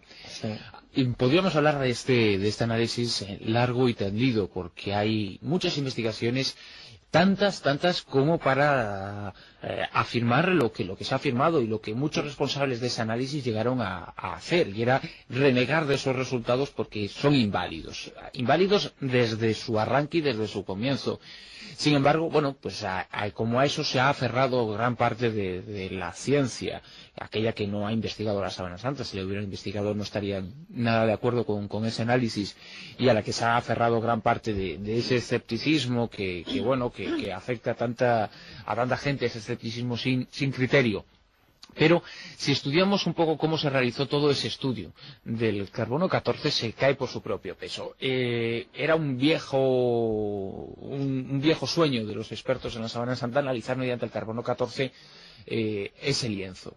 En el año 86 se establecieron una serie de bases, un protocolo científico, que es como debe hacerse, para que eh, se llevara a cabo con la mínima credibilidad el análisis por medio de un método tan sujeto a, a matices como es el carbono 14. Ese protocolo se cambió en el año 88, poco antes de que se efectuara el corte, el mínimo corte en la sábana santa para que tres trocitos del lienzo fueran analizados. Y uno de los cambios fue fundamental y, básico en esta historia. En principio iban a ser siete los laboratorios que iban a estudiar por medio de carbono 14 porque se estipulaban eh, una reliquia de esas características que debían ser siete los laboratorios para obtener un resultado medio en condiciones y se quedaron en tres, Oxford, Arizona y Zurich. Curiosamente, los tres tecnológicamente menos preparados para limpiar y realizar esa, esa muestra arqueológica que, a diferencia de otras, requería de un proceso de limpieza muy exhaustivo porque no era una pieza que hubiera estado enterrada, que hubiera estado fuera del contacto con el oxígeno y el aire, sino que era una pieza que eh, llevaba siglos eh, de cara al público, siglos en contacto con, los elementos habituales eh, del, aire y otros ajenos como fue el fuego, el agua, los aceites, etcétera, etcétera. Elementos que alteran el resultado del carbono 14. Cuando se hizo ese cambio de restar de 7 a 3 el número de laboratorios que iban a analizar la sábana, y cuando se cambiaron los protocolos, todos los escépticos del mundo, digo absolutamente todos los escépticos del mundo, y de esto se, hicieron eco en publicaciones, eh, y guardo los recortes eh, perfectamente, en publicaciones especializadas y no especializadas, renegaron, antes de que se dieran a conocer esos resultados, renegaron en comunicados públicos de los resultados. Fueran cuales fueran esos resultados, concluían los escépticos, no serán tomados en consideración porque no existe credibilidad científica para ese análisis. Partiendo de ahí el resto ya no nos sirve. Sin embargo, cuando salieron los resultados, probablemente porque los escépticos sospechaban que iban a ser favorables a la, favorables a la sábana santa, todos los escépticos del mundo, los mismos que habían firmado esos manifiestos, un manifiesto eh, que había sido promovido por el SICOP, que es el principal grupo escéptico del mundo, que aglutina al resto de grupos escépticos, todos los escép- escépticos renegaron de, esa, eh, de ese primer eh, comunicado y aceptaron como reales unos análisis que no se sostienen por muchas razones. Primero, se da una fecha que es de 1260 a 1390, es decir, 130 años lo que nos habla de aproximadamente un 20% de su tiempo real de vida, cuando el resultado debería haber sido mucho más ajustado. Una diferencia de 130 años eh, entre, unos, entre unos laboratorios y otros era el que podría esperarse de una reliquia o de un objeto de entre 2.000 y 3.000 años de antigüedad y no de 700, como, como era el caso. Es decir, ya fueron anormales los resultados que se produjeron, pero es que hay mucho más. Según una investigación extraordinaria efectuada por eh, italianos Horacio Petrosilo y Emanuela Marinelli, está publicada en un libro y en varios eh, documentales de televisión en toda la trama del análisis del carbono 14 hay una serie de hechos verdaderamente inexplicables y que hablan incluso de la probabilidad de que fuera un fraude. Hay tomas eh, eh, filmadas de el momento en el que se extraen de la sábana, en el que se recortan esos eh, trocitos de tela y se pesa cada uno en una balanza electrónica. Pues bien, los trozos de tela, cuando son pesados en una balanza electrónica, en el momento de ser recortado el lienzo, tienen un peso que no corresponde al que se filma en el momento de llegar a cada uno de los laboratorios. Y algunos investigadores han llegado a sospechar de que efectivamente se produjo lo que vulgarmente se dice un cambiazo. Es decir, hay incluso muchas sospechas serias sobre esa posibilidad. Creo que el análisis del carbono 14 es cualquier cosa menos un estudio científico. De todas formas, a los escépticos es que no les vale nada. ¿eh? Eh, su publicación se tendrá que llamar no. bueno, los escépticos. Y luego no. Cuando salieron, cuando salieron estas fechas les encajaba perfectamente los datos históricos que existen sobre la sábana, porque se fechó en los años 1260 y 1390 y hay una evidencia documental, la evidencia documental más antigua de la Sábana Santa data del año 1354 y está en Lirey.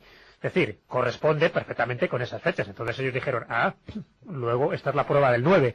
Corresponde con la fecha en la que empieza la primera datación cronológica fehaciente sobre la Sábana Santa, que es 1354. Pero claro, como decía Bruno, pues no deja de, de ser pues una, una conclusión forzada, por parte de esta, esta, investigación que hicieron estos tres laboratorios, pero que después las posteriores investigaciones que se han hecho están demostrando todo lo contrario. Que Yo es que estaba viendo el espectáculo de cómo Bruno quemaba el, sí, el estudio. Y, y, nos puede servir para... para, para... Bruno estaba destruyendo, ¿no? pero bueno. Estaba emocionado contando la historia del carbono 14. Ahora que hemos apagado el incendio, pues, y sus apuntes, no sé por qué. Inconscientemente me estaba dando una, una pista para eh, exponer otro argumento en contra del, es un hombre del carbono 14. Estaba con, emocionado y moviendo el, el cigarro sin darme cuenta de que, de que estaba perforando unos, unos folios y evidentemente quemándose. Pues bien, esa quemadura que yo acabo de provocar en este folio se produjo aprovecha, en, aprovecha. en 16 sectores de la Sábana Santa. La Sábana Santa ha sufrido, independientemente del último, que es posterior al análisis del carbono 14, varios incendios. Y el incendio que provoca, un incendio provoca un aumento prodigioso de la cantidad de carbono, de carbono en un objeto, un elemento a analizar como es la sábana santa. Y eh, lo que mide el análisis mediante el radiocarbono 14 es la cantidad de carbono que tiene un objeto. Cuando menos cantidad de carbono 14 tiene un objeto, más antiguo es. Cuando más tiene, más cercano en el tiempo es. Un incendio, un incendio lo que provoca es una alteración y un aumento en esa cantidad de carbono 14. Pues bien, esa particularidad no fue tomada en consideración lo suficiente por los expertos como para eh, valorarlo a la hora de efectuar un, resultado unos, y una investigación científica en condiciones. Es decir, los incendios que sufrió la Sábana Santa pudieron provocar un aumento en la cantidad de carbono 14 suficiente como para alterar el resultado. Eso independientemente de explicar las causas de la formación de la imagen, porque la misma formación de la imagen ya de por sí pudo haber aumentado la cantidad de carbono. Estaba pensando que, claro, ya puestos a estar Bueno, en contra... Y, y para demostrarlo, a, Yo que, que decía que, que ya puestos a decir, a decir verdaderas chorradas, todos los, algunos escépticos han llegado a extremos realmente alucinantes para intentar demostrar que la sábana santa realmente no es auténtica. Estaba pensando que una bióloga rusa, Kamila Rezhetnikova, afirmó que la edad del sudario era variable, que dependía de la creencia de la gente, puesto que el campo energético de la región cristiana aumentaba el tejido manteniendo su integridad. Entonces propuso la peregrina idea de medir la edad del sudario antes de la cuaresma, en vísperas y después de Pascua, para que todo el mundo pudiera convencerse de que la creencia de las personas eh, motivaba un aumento en el rejuvenecimiento, el rejuvenecimiento del tejido. Bueno, se ha llegado hasta estos temas tan pintorescos. Hay que decir que Rezhetnikova era, era, es bióloga y se basaba en, en observación. Y estaba convencida que de alguna manera había algo en la creencia de las personas que influía en la naturaleza de los restos del tejido. Como San Genaro, ¿no? Sí, algo parecido, pero, pero fijaros hasta qué extremo han, han llegado ya las interpretaciones sobre la sábana santa. Desde luego es algo polémico, eso está De claro. todas formas, vamos a decirlo todo. Saca, saca Jesús ese catálogo que tienes ahí de sábanas santas. eh, que, que las hay, que las hay, ¿no? Ahí hay un montón. Además, puede ser sábana santa si entra en contacto con la auténtica, ¿no? También es verdad, exactamente, que cuando se habla de sábana santa, la que siempre se conoce como acaba de Carlos de tirar el agua, debe ser para compensar el incendio que ha provocado Bruno. Y tuvo varias limpiezas de agua la sábana santa, que precisamente el agua también tiene sus condicionantes y también los expertos lo, lo Yo ya no sé qué hacer para poner un ejemplo, porque aquí. alguien ha quemado, nos Pues mira, el agua. tenemos fuego, tenemos agua, pues empieza a soplar. falta el aire. Empieza a soplar. Bueno, pues mientras que vamos solucionando estos pequeños problemas, Eh, no, os comentaba que, que es cierto que hay unanimidad a la hora de decir que la auténtica es la sábana santa de Turín, que las demás son copias. Copias eh, más o menos afortunadas, y más o menos fieles al retrato original que aparece en la sábana santa de Turín, pero copias al fin y al cabo. Lo que pasa es que adquieren sacralidad por el contacto. Y aquí en España tenemos un montón de ellas. ¿no? Un- el libro que publicamos hace tiempo Javier Sierra y yo, titulado La España extraña, pues uno de los capítulos estaba dedicado exclusivamente a rastrear todas las copias de la síndone que hay en España ¿Y cuántas, cuántas llegasteis a y contabilizar? llegamos a contabilizar 29. O sea que son solo en 29. España. Y 29. hay muchísimas también en Francia, hay muchísimas en Italia, incluso en Argentina, en Santiago del Estero, donde también se conserva una de esas copias de la sábana santa. Eh, por lo tanto, es cierto que tienen como el mismo aspe- aspecto sagrado y de reliquia, porque estuvieron en contacto, o sea, se pintaron y después estuvieron en contacto en un momento determinado con la auténtica sábana santa, la de Turín, o donde estuviera, es decir, en Lire y donde estuviera o Chamberí, y una vez que es llevada a los dis- distintos lugares, como pueden ser parroquias, monasterios, iglesias, catedrales, es venerada como si fuera la auténtica, pero siempre como si fuera la auténtica, sabiendo que es una copia. Como auténtica, yo no he conocido ninguna más, que lo digan así por lo menos las tradiciones, que la de que la sábana santa de Turín. Me refiero en esta época. En un principio, cuando ya hablamos de datos medievales, era tan confuso el catálogo de sábanas santas que se pensaba que auténtica era cualquiera, pero aún así siempre había unanimidad que la que se conservaba en el, bueno, en el Vaticano, iba a decir, lo que se conservaba en un poco en el, en el Imperio Vaticano era la auténtica, ¿no? Igual que todas las reliquias asociadas a Cristo, tanto clavos como lignum crucis, también se conservan auténticas. Después la historia lo que ha hecho es desmontar el resto de las reliquias de Jesucristo y solo ha mantenido como auténticas, y pongo auténticas entre comillas porque ya digo que no hay todavía pruebas científicas que lo avalen, pero como auténticas, y para mí serían dos, las dos únicas reliquias relacionadas con Jesucristo, que serían la sábana santa de Turín y el pañolón de Oviedo. Todas las demás, desde mi punto de vista, y eso es una creencia personal, todas las demás, desde clavos hasta espinas, pasando por un crucis, son falsas. ¿Qué podríamos hacer con tantas astillas de la cruz de, de- de Jesús, eh, Carlos? Pues según Lutero, un galeón. Un galeón.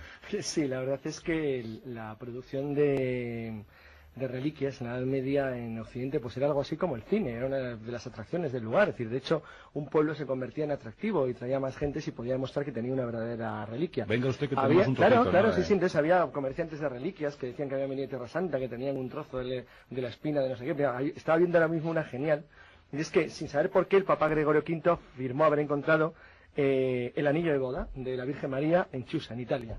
Este dato muy discutido porque él entonces sabía que los judíos no usaban en el siglo I anillos de boda, lo cual no impidió que lo, que lo, que lo mostrara de una manera clarísima. Bueno, pues este ejemplo aparentemente tan, tan chusco no impedía que eh, hubiera una especie de proliferación de mercado y de trapicheo basada en las reliquias y cuanto más grandes mejor. No había que pasarse, pues claro, si tú decías que tenías la auténtica cruz de Cristo, pues ya era poco creíble. Sin embargo, si dices tienes una astilla del lado izquierdo, pues bueno, pues, pues podía, podía colar. Entonces, el hecho es que, bueno, no sé, solamente con las, con las, con las espinas de la, se podía hacer todo un verdadero campo fortificado alambradas de varios kilómetros. Bueno, porque, pero- porque es enorme Claro. la cantidad de, de espinas que hay de, de la, de la corona. Nada mejor para un cruzado que traer una reliquia. ¿no? Exacto, y además lo hacían porque una demostración. Yo estaba allí, fijaros, aquí viene avalada por a lo mejor por un monje que está en, que está en Oriente y aquí tengo mi reliquia. La reliquia la llevaba al pueblo y a partir de entonces la iglesia de su pueblo se convertía en la depositaria de una reliquia. Es curioso que, aunque obviamente el Vaticano ahora sabe que las reliquias son claramente falsas, lo que no impide que sí sea eh, eh, correcta la veneración. Es decir, se acepta que las reliquias sean veneradas, en ese sentido sí están eh, valoradas, aunque obviamente el origen pues, pues es muy discutible. Yo realmente, después de haber libro, visto mucho sobre reliquias, algunos libros muy divertidos, como el de Slava Galán, que es francamente gracioso, pues lo cierto es que yo creo que Jesús mm, ha dado en el clavo, y nunca mejor dicho. y que realmente las, especialmente brillantes, ¿eh? las dos, las dos reliquias mm, a destacar son claramente eh, la sábana santa y el pañolón de Oviedo, que es muy interesante. ¿Tú también estás de acuerdo, Bruno? Sí, sí, porque la verdad es que ni, ni una sola reliquia, excepción hecha de estas dos, eh, superan un, mínimo análisis eh, con rigor. Incluso, incluso yo me atrevería a decir que el sudario de aún está todavía pasando un, un serio examen eh, para averiguar si su, su autenticidad o no. Pero cierto es que las investigaciones, ahora mismo mucho más apasionantes dentro del campo del sudario de Oviedo que de la sábana Santa Turín, porque es un elemento más accesible y bueno, y aún tiene te- terreno para ofrecer más novedades, apuntan a, un hecho fundamental y creo que es la línea correcta la que están tomando los investigadores de- del pañolón de Oviedo. Y es que, a diferencia de la sábana santa, en el pañolón de Oviedo, que se supone que estuvo en contacto con, el rostro de Jesús, no hay una imagen, hay unas huellas de sangre, porque la sábana santa no se formó, eh, la imagen no se formó por, por contacto, sino, o, o, parte de la imagen no se formó por contacto, excepción hecha de, de las huellas de sangre, sino que algún tipo de radiación de, origen desconocido eh, emitió ese cuerpo y quemó la parte más superficial del, del lino de la sábana santa. Sin embargo, en el pañolón de, de Oviedo lo que aparece son las, las, manchas de esa sangre, que sin embargo también aparecen en el lienzo de Turín. Y lo que han hecho los investigadores es eh, tratar de poner una en relación a la otra y averiguar si los, eh, las manchas coinciden entre uno y otro lienzo, entre una y otra eh, y otro sudario. Y el resultado que han obtenido hasta ahora es que hay demasiados puntos en común como para pensar que no se pusieron sobre el mismo rostro. Pues es decir, 120 coincidencias. 120 coincidencias cuando en, en antropología forense sé que, sé que hay una, una cifra que es mucho menor, es decir, con menos coincidencias eh, en un juicio ganaría quien apostara porque eh, estuvieron sobre la misma persona. Pues con este comentario finalizamos nuestra segunda hora de especial dedicada a los misterios de la pasión con Jesús Callejo, Carlos Canales y Bruno Cardeñosa, muy empeñados hoy en demostrarlo todo, además, eh, desde el empirismo. Aquí quemamos un documento, echamos agua sobre otro, en fin, que, tenemos de, todo un poco, como siempre, brillante nuestros buenos asesores en esta edición especial de la tertulia, la tertulia de las 4C, la tertulia Zona Cero, hablando de los misterios de, de Jesús, los misterios que rodearon a uno de los personajes clave, a uno de los personajes más importantes en la historia de la humanidad. Ahora llegan las noticias, nos ponemos al tanto de la actualidad, vamos a ver lo que ha ocurrido y después continuamos ya en el punto final, en la recta final de esta edición especial de la Zona Cero.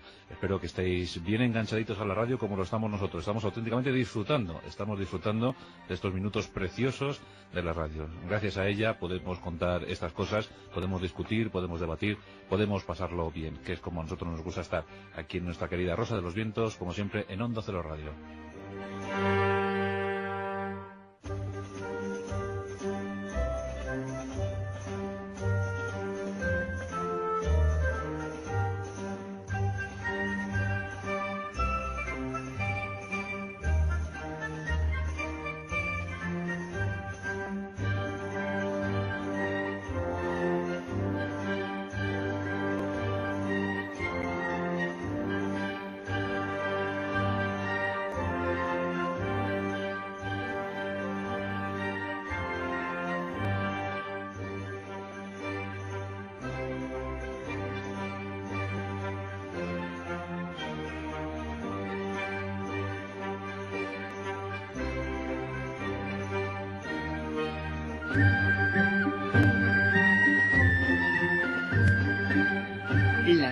de los vientos en onda cero.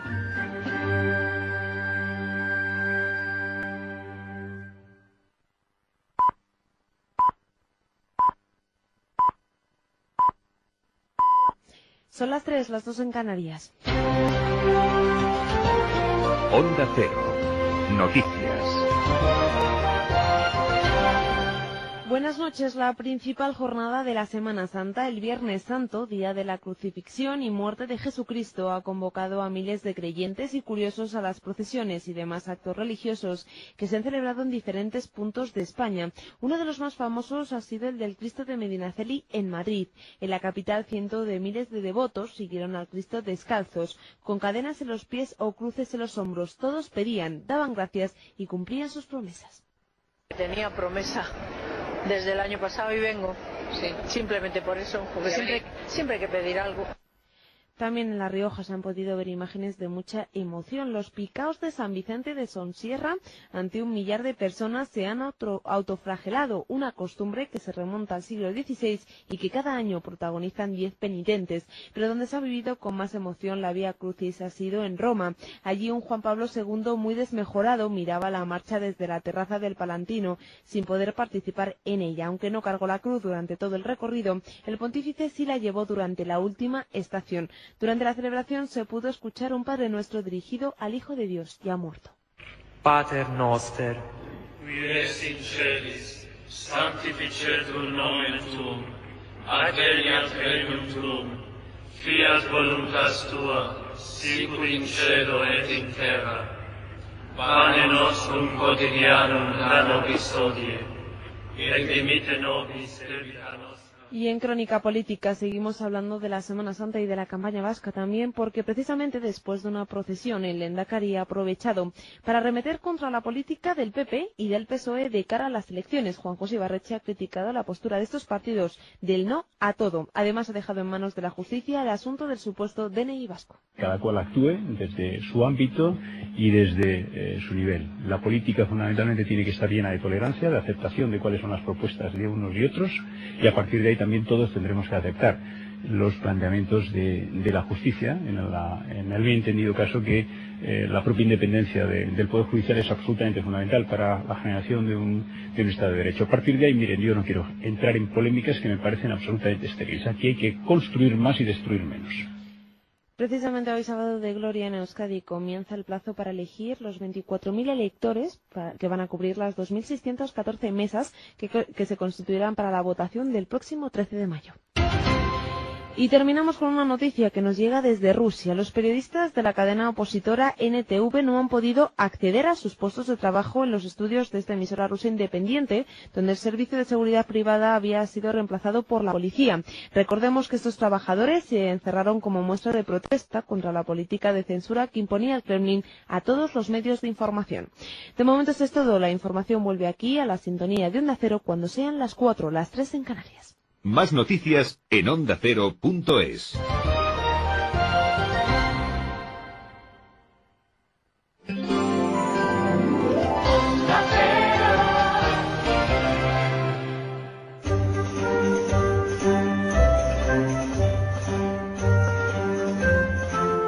La Rosa de los Vientos, con Juan Antonio Cebrián, en Onda Cero.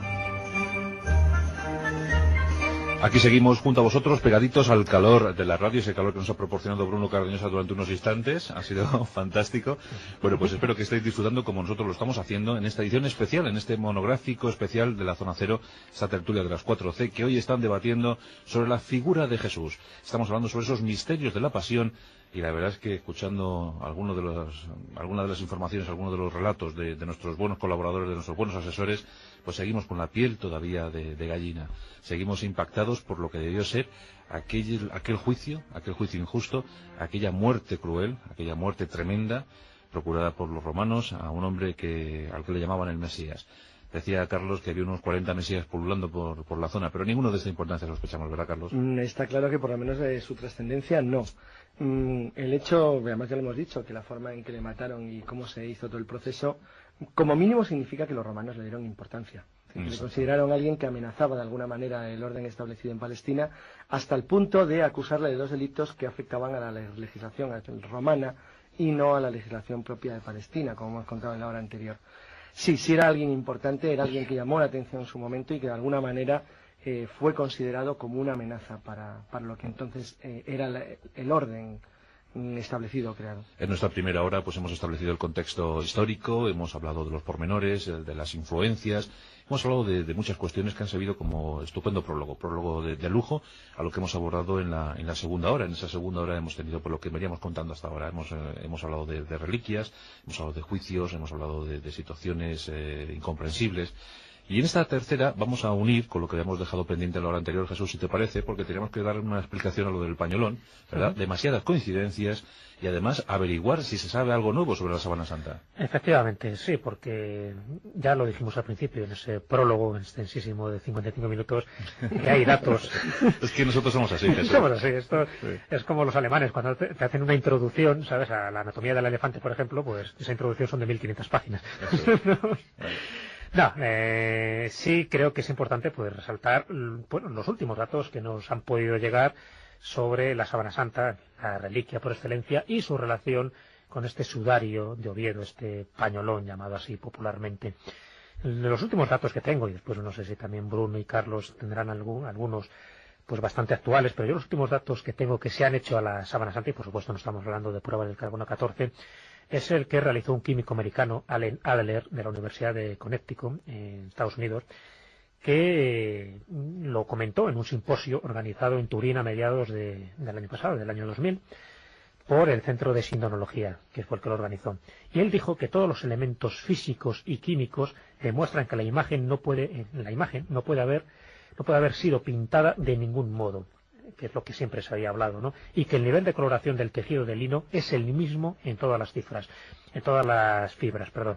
Es un dato, me parece fundamental, porque vuelve otra vez a descartar que no existe ningún tipo de pigmentación, ni de colorante, ni de pintura de ningún tipo que, pueda haber plasmado esa imagen en el lienzo turinés.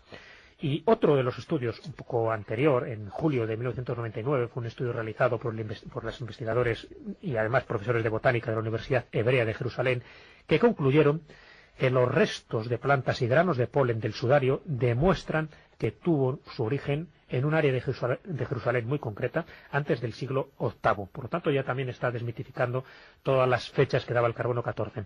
Y que se encuentra además en la floración de ese polen, se encontraba entre marzo y abril. el hecho es que un profesor de botánica llamado Abinoan Danin es el que identificó una alta densidad de polen de una especie de hierba denominada Gundelia turneforti y un tipo específico de alcaparra, dos especies que coexisten en un área limitada del mundo. Y esa área limitada es la región que rodea Jerusalén, en concreto la franja de Gaza. Estos dos granos de polen, y aquí es donde lo ponemos en relación con el pañolón de Oviedo, estos dos granos de polen, la Gundelia turneforti y este tipo específico de alcaparra, también se han encontrado en el, en el sudario de Oviedo, sobre todo el de Gundelia turneforti, y de ahí su datación. Ellos han datado eh, la sábana santa, estoy hablando de la Universidad Hebrea de Jerusalén, por lo menos del siglo VIII. Y dicen que es por lo menos del siglo VIII porque si realmente ese polen se ha encontrado también en el pañolón de donde las dataciones cronológicas son del siglo VIII, se llega a la conclusión de que por lo menos es de esa fecha. Ya digo que ya desmiente totalmente que pueda ser del siglo XIII o del siglo XIV. Eh, este profesor de botánica judío, concluye que la coincidencia de los granos de polen en ambas telas hace que la sábana de Turín pueda fecharse en esa época similar. Y además, y además que sendos lienzos están mostrando manchas de sangre del tipo A Curioso lo de A y B. Hablábamos antes de esas 120 similitudes que se han encontrado entre el sudario y el lienzo de la Catedral de Turín. Esto se hizo mediante una aplicación y una técnica de polarización de imágenes pues gracias a un médico americano que en 1983 encontró ni más ni menos que esas 120 manchas o puntos coincidentes entre los dos lienzos.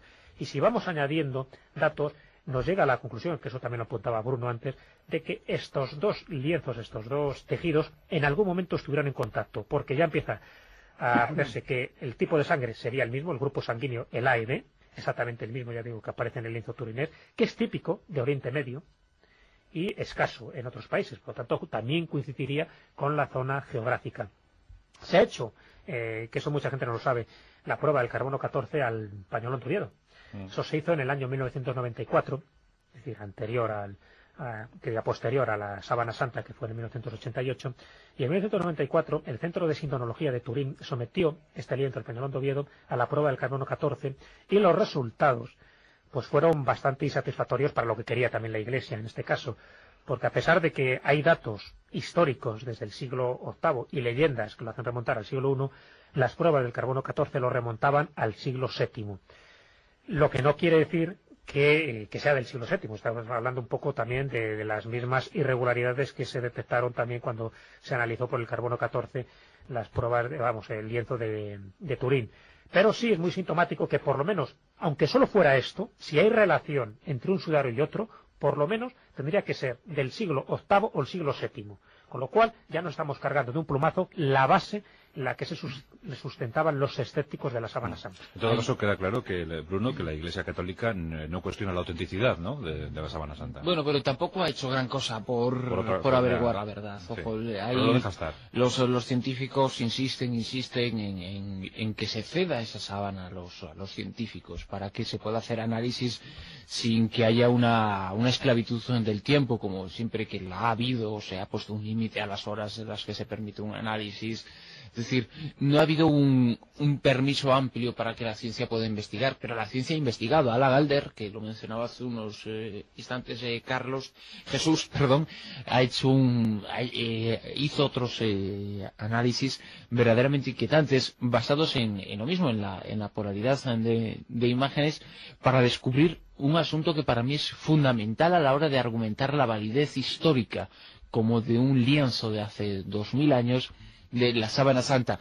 Lo que hizo Alan Ander fue eh, reunir cientos de imágenes bizantinas que representaban la figura de Jesús, la imagen del rostro de Jesús, y colocarlas en contraposición del rostro de Jesús que aparece en la sábana santa. Llegó a la conclusión eh, total y absoluta, él, él no muestra ninguna duda al respecto, de que esos iconos bizantinos están inspirados en la imagen de la sábana santa. Pero claro, si esos iconos eran del siglo V y del siglo VI, es imposible, imposible que la sábana santa fuera una falsificación medieval de los siglos XII, XIII o XIV, como ha sostenido el carbono XIV, como han sostenido algunos eh, expertos. Por lo tanto, sí, eh, inspiraron las imágenes eh, iconográficas de hace 1500 años, eso quiere decir que cuanto menos, cuando menos, tiene esa autenticidad. Pero hay, hay otro, otro estudio eh, verdaderamente interesante a nivel eh, histórico-artístico que ha efectuado un,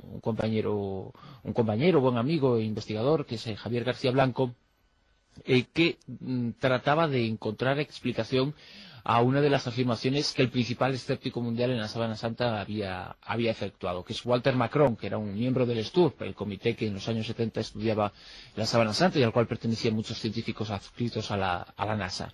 Esto, eh, Ma- Macron eh, fue el único disidente de ese colectivo de científicos, todos ellos firmes defensores de la autenticidad de, de la Sábana Santa. Él no. Y él dijo que se trataba de una pintura, de una imagen y sostenía, se sostenía única y exclusivamente en una pista que él había, él había averiguado como, como químico, ¿no? Y era que había logrado identificar sobre el lienzo pigmentos formados por óxido de hierro. Había una razón fundamental para negar que, pues para quitar credibilidad a ese apunte de, Macron, según el cual la existencia de esos pigmentos revelarían que se trataría de una pintura de la cual no existirían muchos más restos únicamente por el tiempo transcurrido. Y era el hecho de que esos pigmentos de óxido de hierro habían aparecido en partes del lienzo en la cual no hay imagen, por lo tanto no pertenecen a la pintura.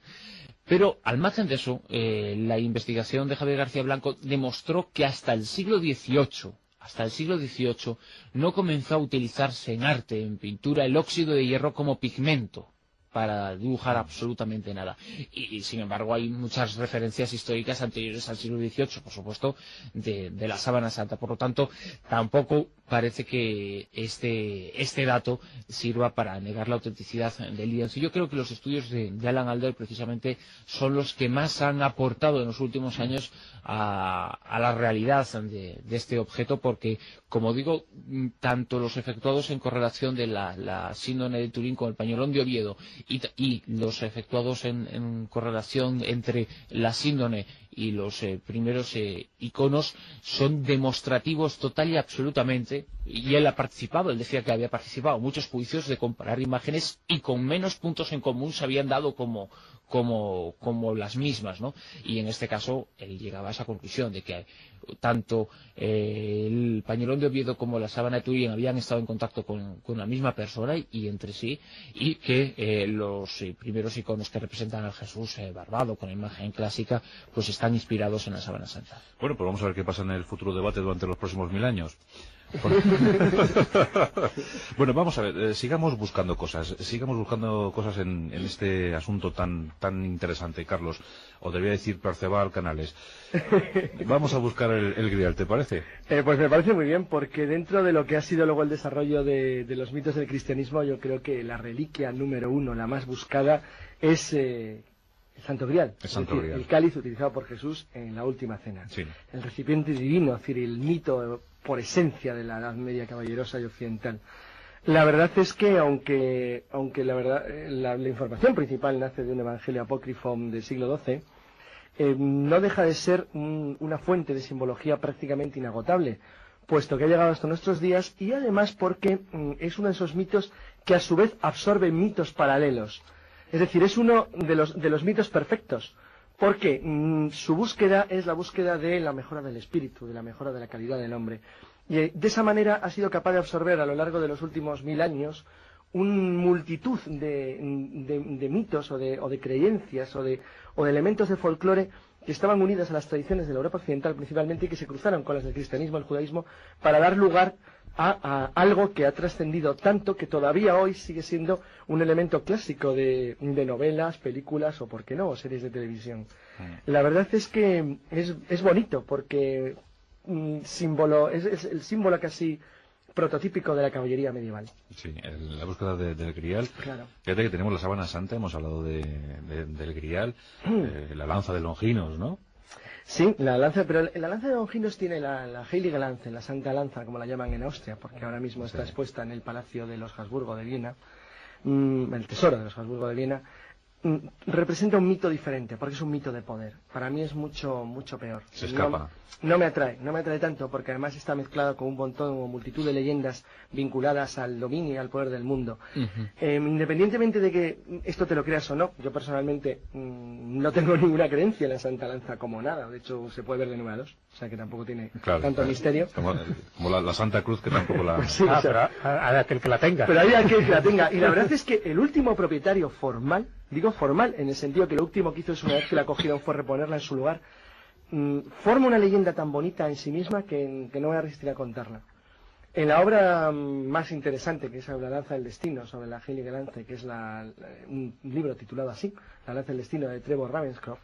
Trevor Ravenscroft es un militar inglés que fue el director de la Academia de, de Sandhurst, mm, una academia prestigiosa dentro de lo que es el ejército británico. Escribió hace unos años un libro, un libro que ha tenido una, bueno, un, considerable éxito, donde trazaba una historia entre mítica y legendaria, es decir, hacía una especie de cuento novelado muy bonito sobre cómo había evolucionado en la mentalidad de Europa occidental eh, la leyenda de la Santa Lanza desde que es redescubierta por los cruzados en Antioquía en base a un sueño, bueno, hay toda una historia ya mítica anterior.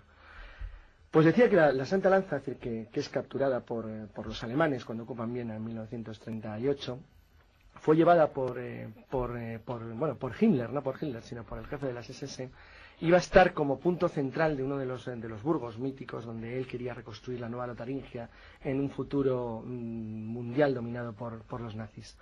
Bueno, cuando, cuando los alemanes pierden el, frente occidental, ellos enterraron en una cueva en una serie de reliquias entre las cuales estaba esta lanza. La lanza desapareció, es decir, Alemania se rinde y nadie sabía nada de ella. Pero, de una manera casual, en, el mes de junio de 1945, un soldado norteamericano que, bueno, que hacía guardia en unos depósitos alemanes eh, subterráneos en las montañas de Hart, descubrió una entrada secreta. Entonces, bueno, bueno, pues un grupo de militares americanos abrieron eh, lo que había allí y entre las cosas que estaban estaba la, la Heilige Lanze.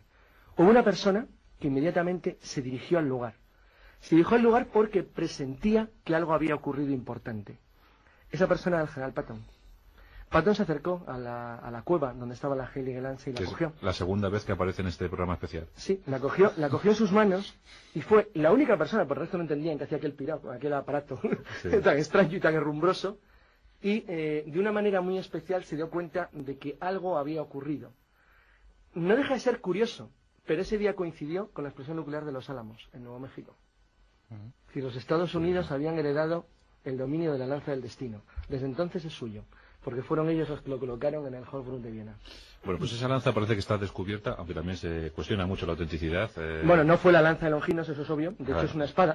Pero bueno, son detalles sin importancia. Exacto, eso tampoco vamos- va a entorpecer nuestra, nuestra historia, ¿no? Esos pequeños detalles. Esos pequeños detalles. Que eh, sigues aumentando la leyenda con esta anécdota que has comentado. Armas, armas, armas. Eh, la Santa Cruz, Jesús, Uy, la Santa Cruz. ¿Cuál de ellas? no se puede considerar que, que, que, está intacta, ¿no? Que Eh, no, no, no, yo intacta. ya comenté antes que para mí las únicas reliquias a las que puedo conceder ¿no? De- cierta verosimilitud es al pañolón de Oviedo y a la, y a la sábana santa de Turín. Por lo tanto, todo lo demás Sí. Todo lo demás ya ha dado por...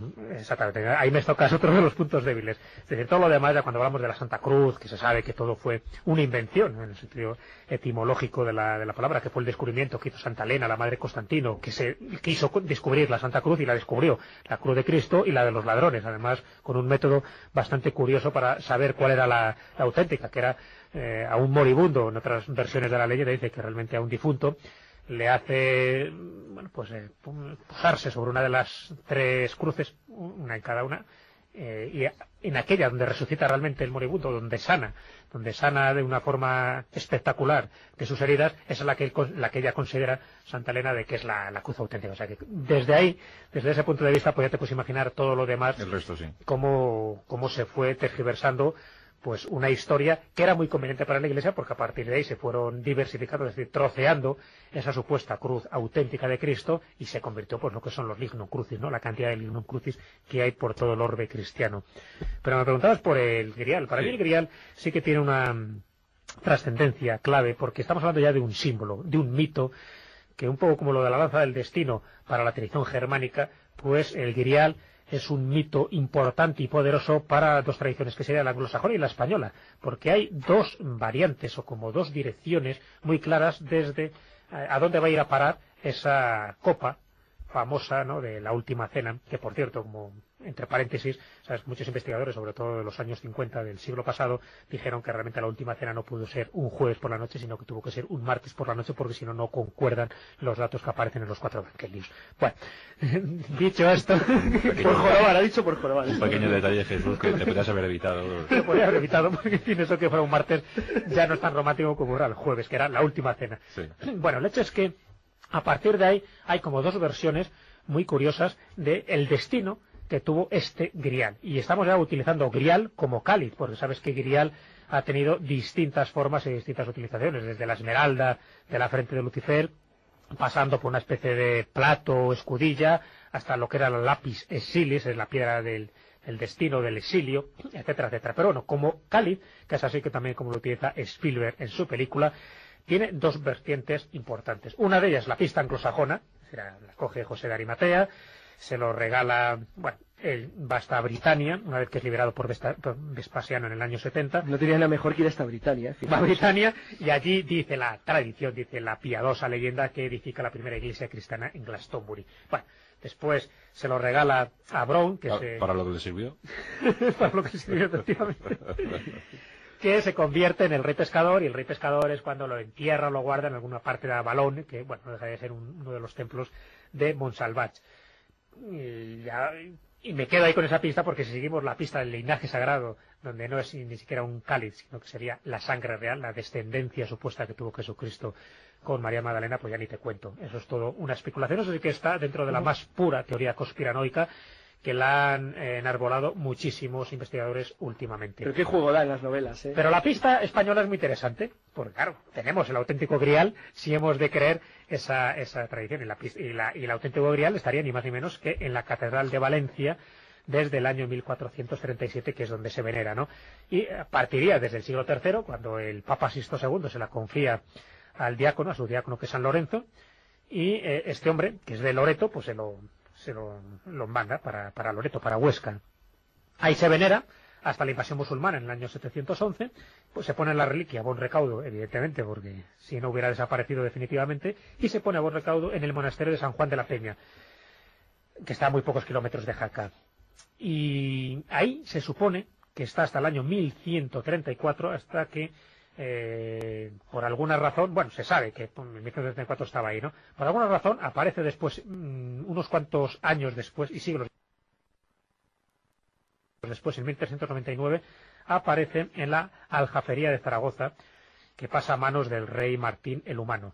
Y de, ahí, de Zaragoza, es cuando en 1437, durante el reinado de Alfonso el Magnánimo, va a parar a la Catedral de Valencia, donde hoy mismo se venera, y por supuesto los valencianos pues están totalmente convencidos de que es el auténtico grial, que es ese cáliz, ¿no? Esa copa. Una variante de la leyenda, que también es muy, esta es más romántica todavía si quieres, eh, sostiene que el cáliz lo oculta José de Arimatea, pero no en Glastonbury, sino en el templo de Jerusalén.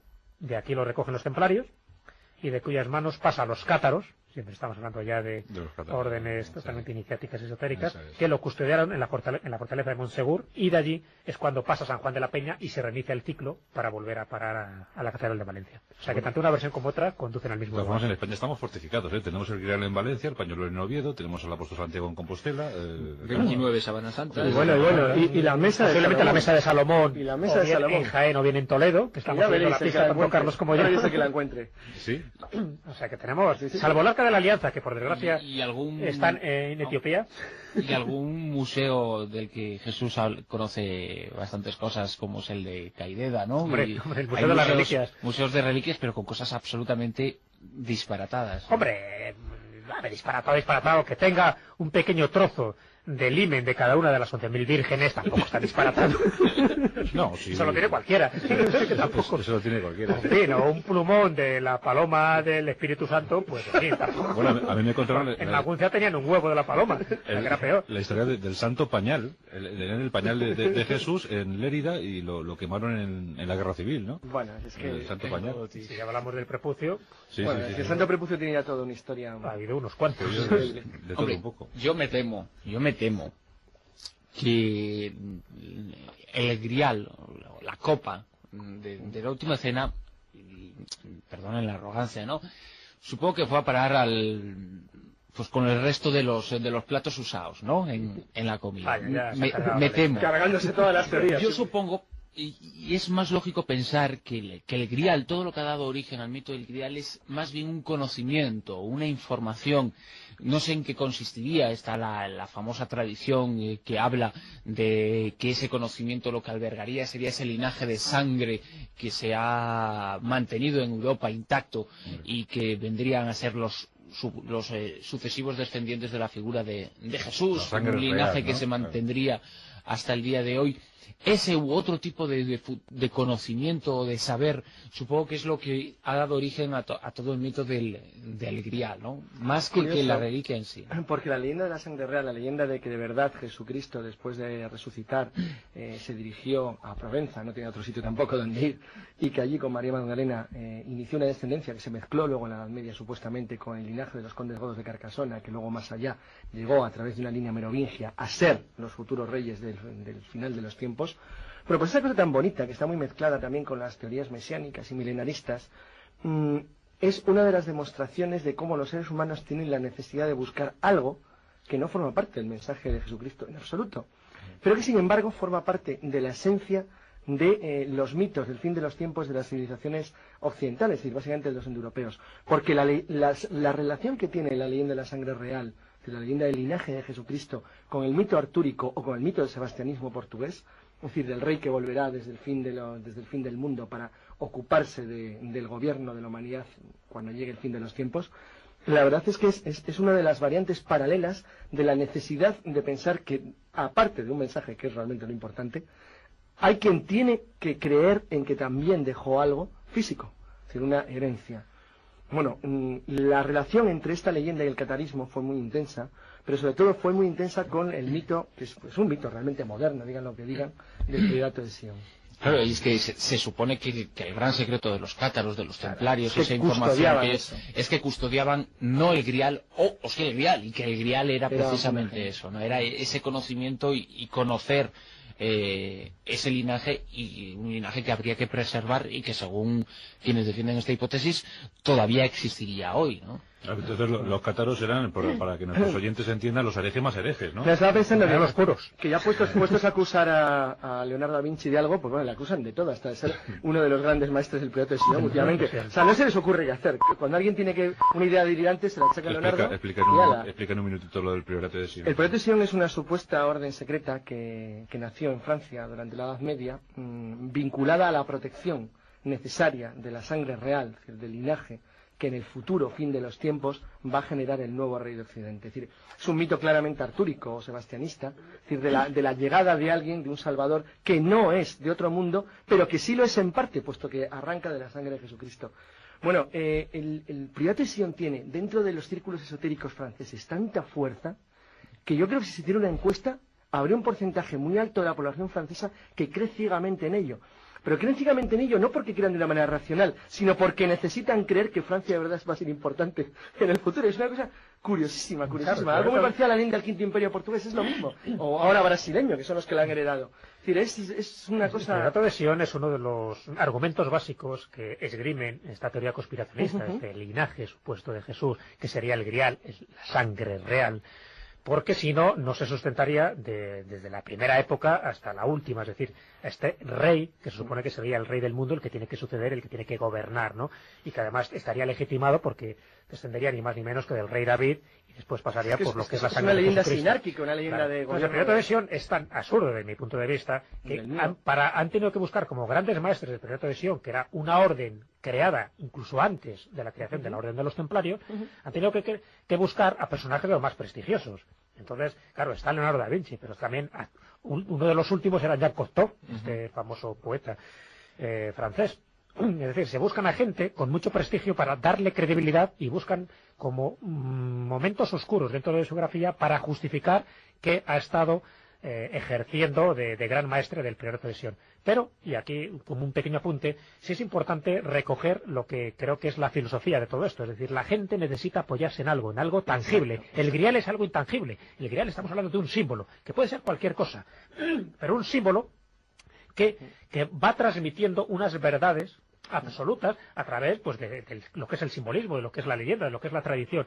Y las reliquias lo que hacen es lo mismo. Por eso, mí- cuando se habla del grial, la gente necesita tener algo físico, palpable, como mí, puede a mí ser hay algo que, que me preocupa y me pone profundamente nervioso. Es decir, ahora que no nos oyen escépticos, que es de lo que nos acusan, pero no sé por qué no. exactamente. ¿Por Quiero qué decir no? que siempre me ha puesto muy nervioso y me ha preocupado muchísimo el cómo la tradición francesa republicana, la que nace la Revolución Francesa, la de la igualdad de los derechos del hombre, del ser humano y de los ciudadanos, ha podido acabar absorbiendo de una manera absoluta en su tradición el mito del pirata de Sion. De hecho, uno de los últimos acusados de ser, porque yo llamo acusados, de ser eh, presidente o director o como lo quieran llamar del pirata de Sion era el pobre de Gaulle, que no tenía Yo- mejor probablemente otra cosa en que pensar. Yo te lo explico y te lo resumo. Le Grandeur. Exacto, es la necesidad, la necesidad de mostrar que Francia, bueno, que es una pequeña caquilla europea, va a ser algo en el futuro. ¿no? Es, es en serio, es decir, que va a dirigir los destinos del mundo un francés. Es un mito totalmente absurdo, tan alejado de la realidad como es el mito artúrico, que es lo mismo, o como es el sabestionismo, ahora brasileño, del quinto imperio y de la raza cósmica. Oye, vamos a tener, bueno-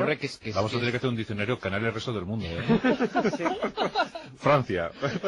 Sí, sí, cada uno tiene uno. Cada uno- bueno, España en esto está afo- afortunadamente aislada, pero, pero sobre todo, los, además, si os fijáis, son mitos de la Europa occidental, son los que han ido construyendo, la- y casi todos ellos tienen algo en común, han sido una gran potencia. Ya no lo son, necesitan serlo en el futuro. ¿Cómo? Por- porque vuelve el rey Arturo pasado mañana y se arregló el problema. Sin embargo, independientemente de- del priorato de Sion, sí es cierto que la leyenda o la predicción o, o la profecía sobre la llegada de un, de un gran gobernante a nivel mundial que herede una, eh, un, un linaje casi sagrado es algo que aparece en, en muchísimas tradiciones fundamentalmente proféticas y el mismo Nostradamus se hizo eco de ella cuando hablaba del, del, del gran monarca. También, también dijeron que- que era, que era del pretesión, no hay problema. Claro, claro, evidentemente. Se le mete la nómina y ya está. Lo que se le, se le metió en la nómina, Esto es como lo, el- lo cierto, lo cierto es que si él refleja y, Pero- y Nostradamus lo que hizo Bruno, es que es igual. una vieja profecía. Hay una variante española, que es los que buscaban la cava. Es decir, la orden secreta en la cual hay reyes de Castilla metidos, porque no sabían a quién meter. Y entonces metieron a Fernando III el Santo y a partir de ahí inicia la tradición de que de verdad hay algo vinculado al gobierno de Castilla, de la corona castellana, que son los herederos de- y custodios de la mesa de Salomón. Para que cuando llegue el fin de los tiempos, cada uno tiene su, su historia, y si la tienen los cuatro grandes países de Occidente, la tiene Inglaterra, y los que fueron los cuatro que crearon el mundo, tal y como lo conocemos hoy en sentido de la expansión, tienen su mito del fin de los tiempos. Y cada uno de los mitos está enormemente relacionado con los otros.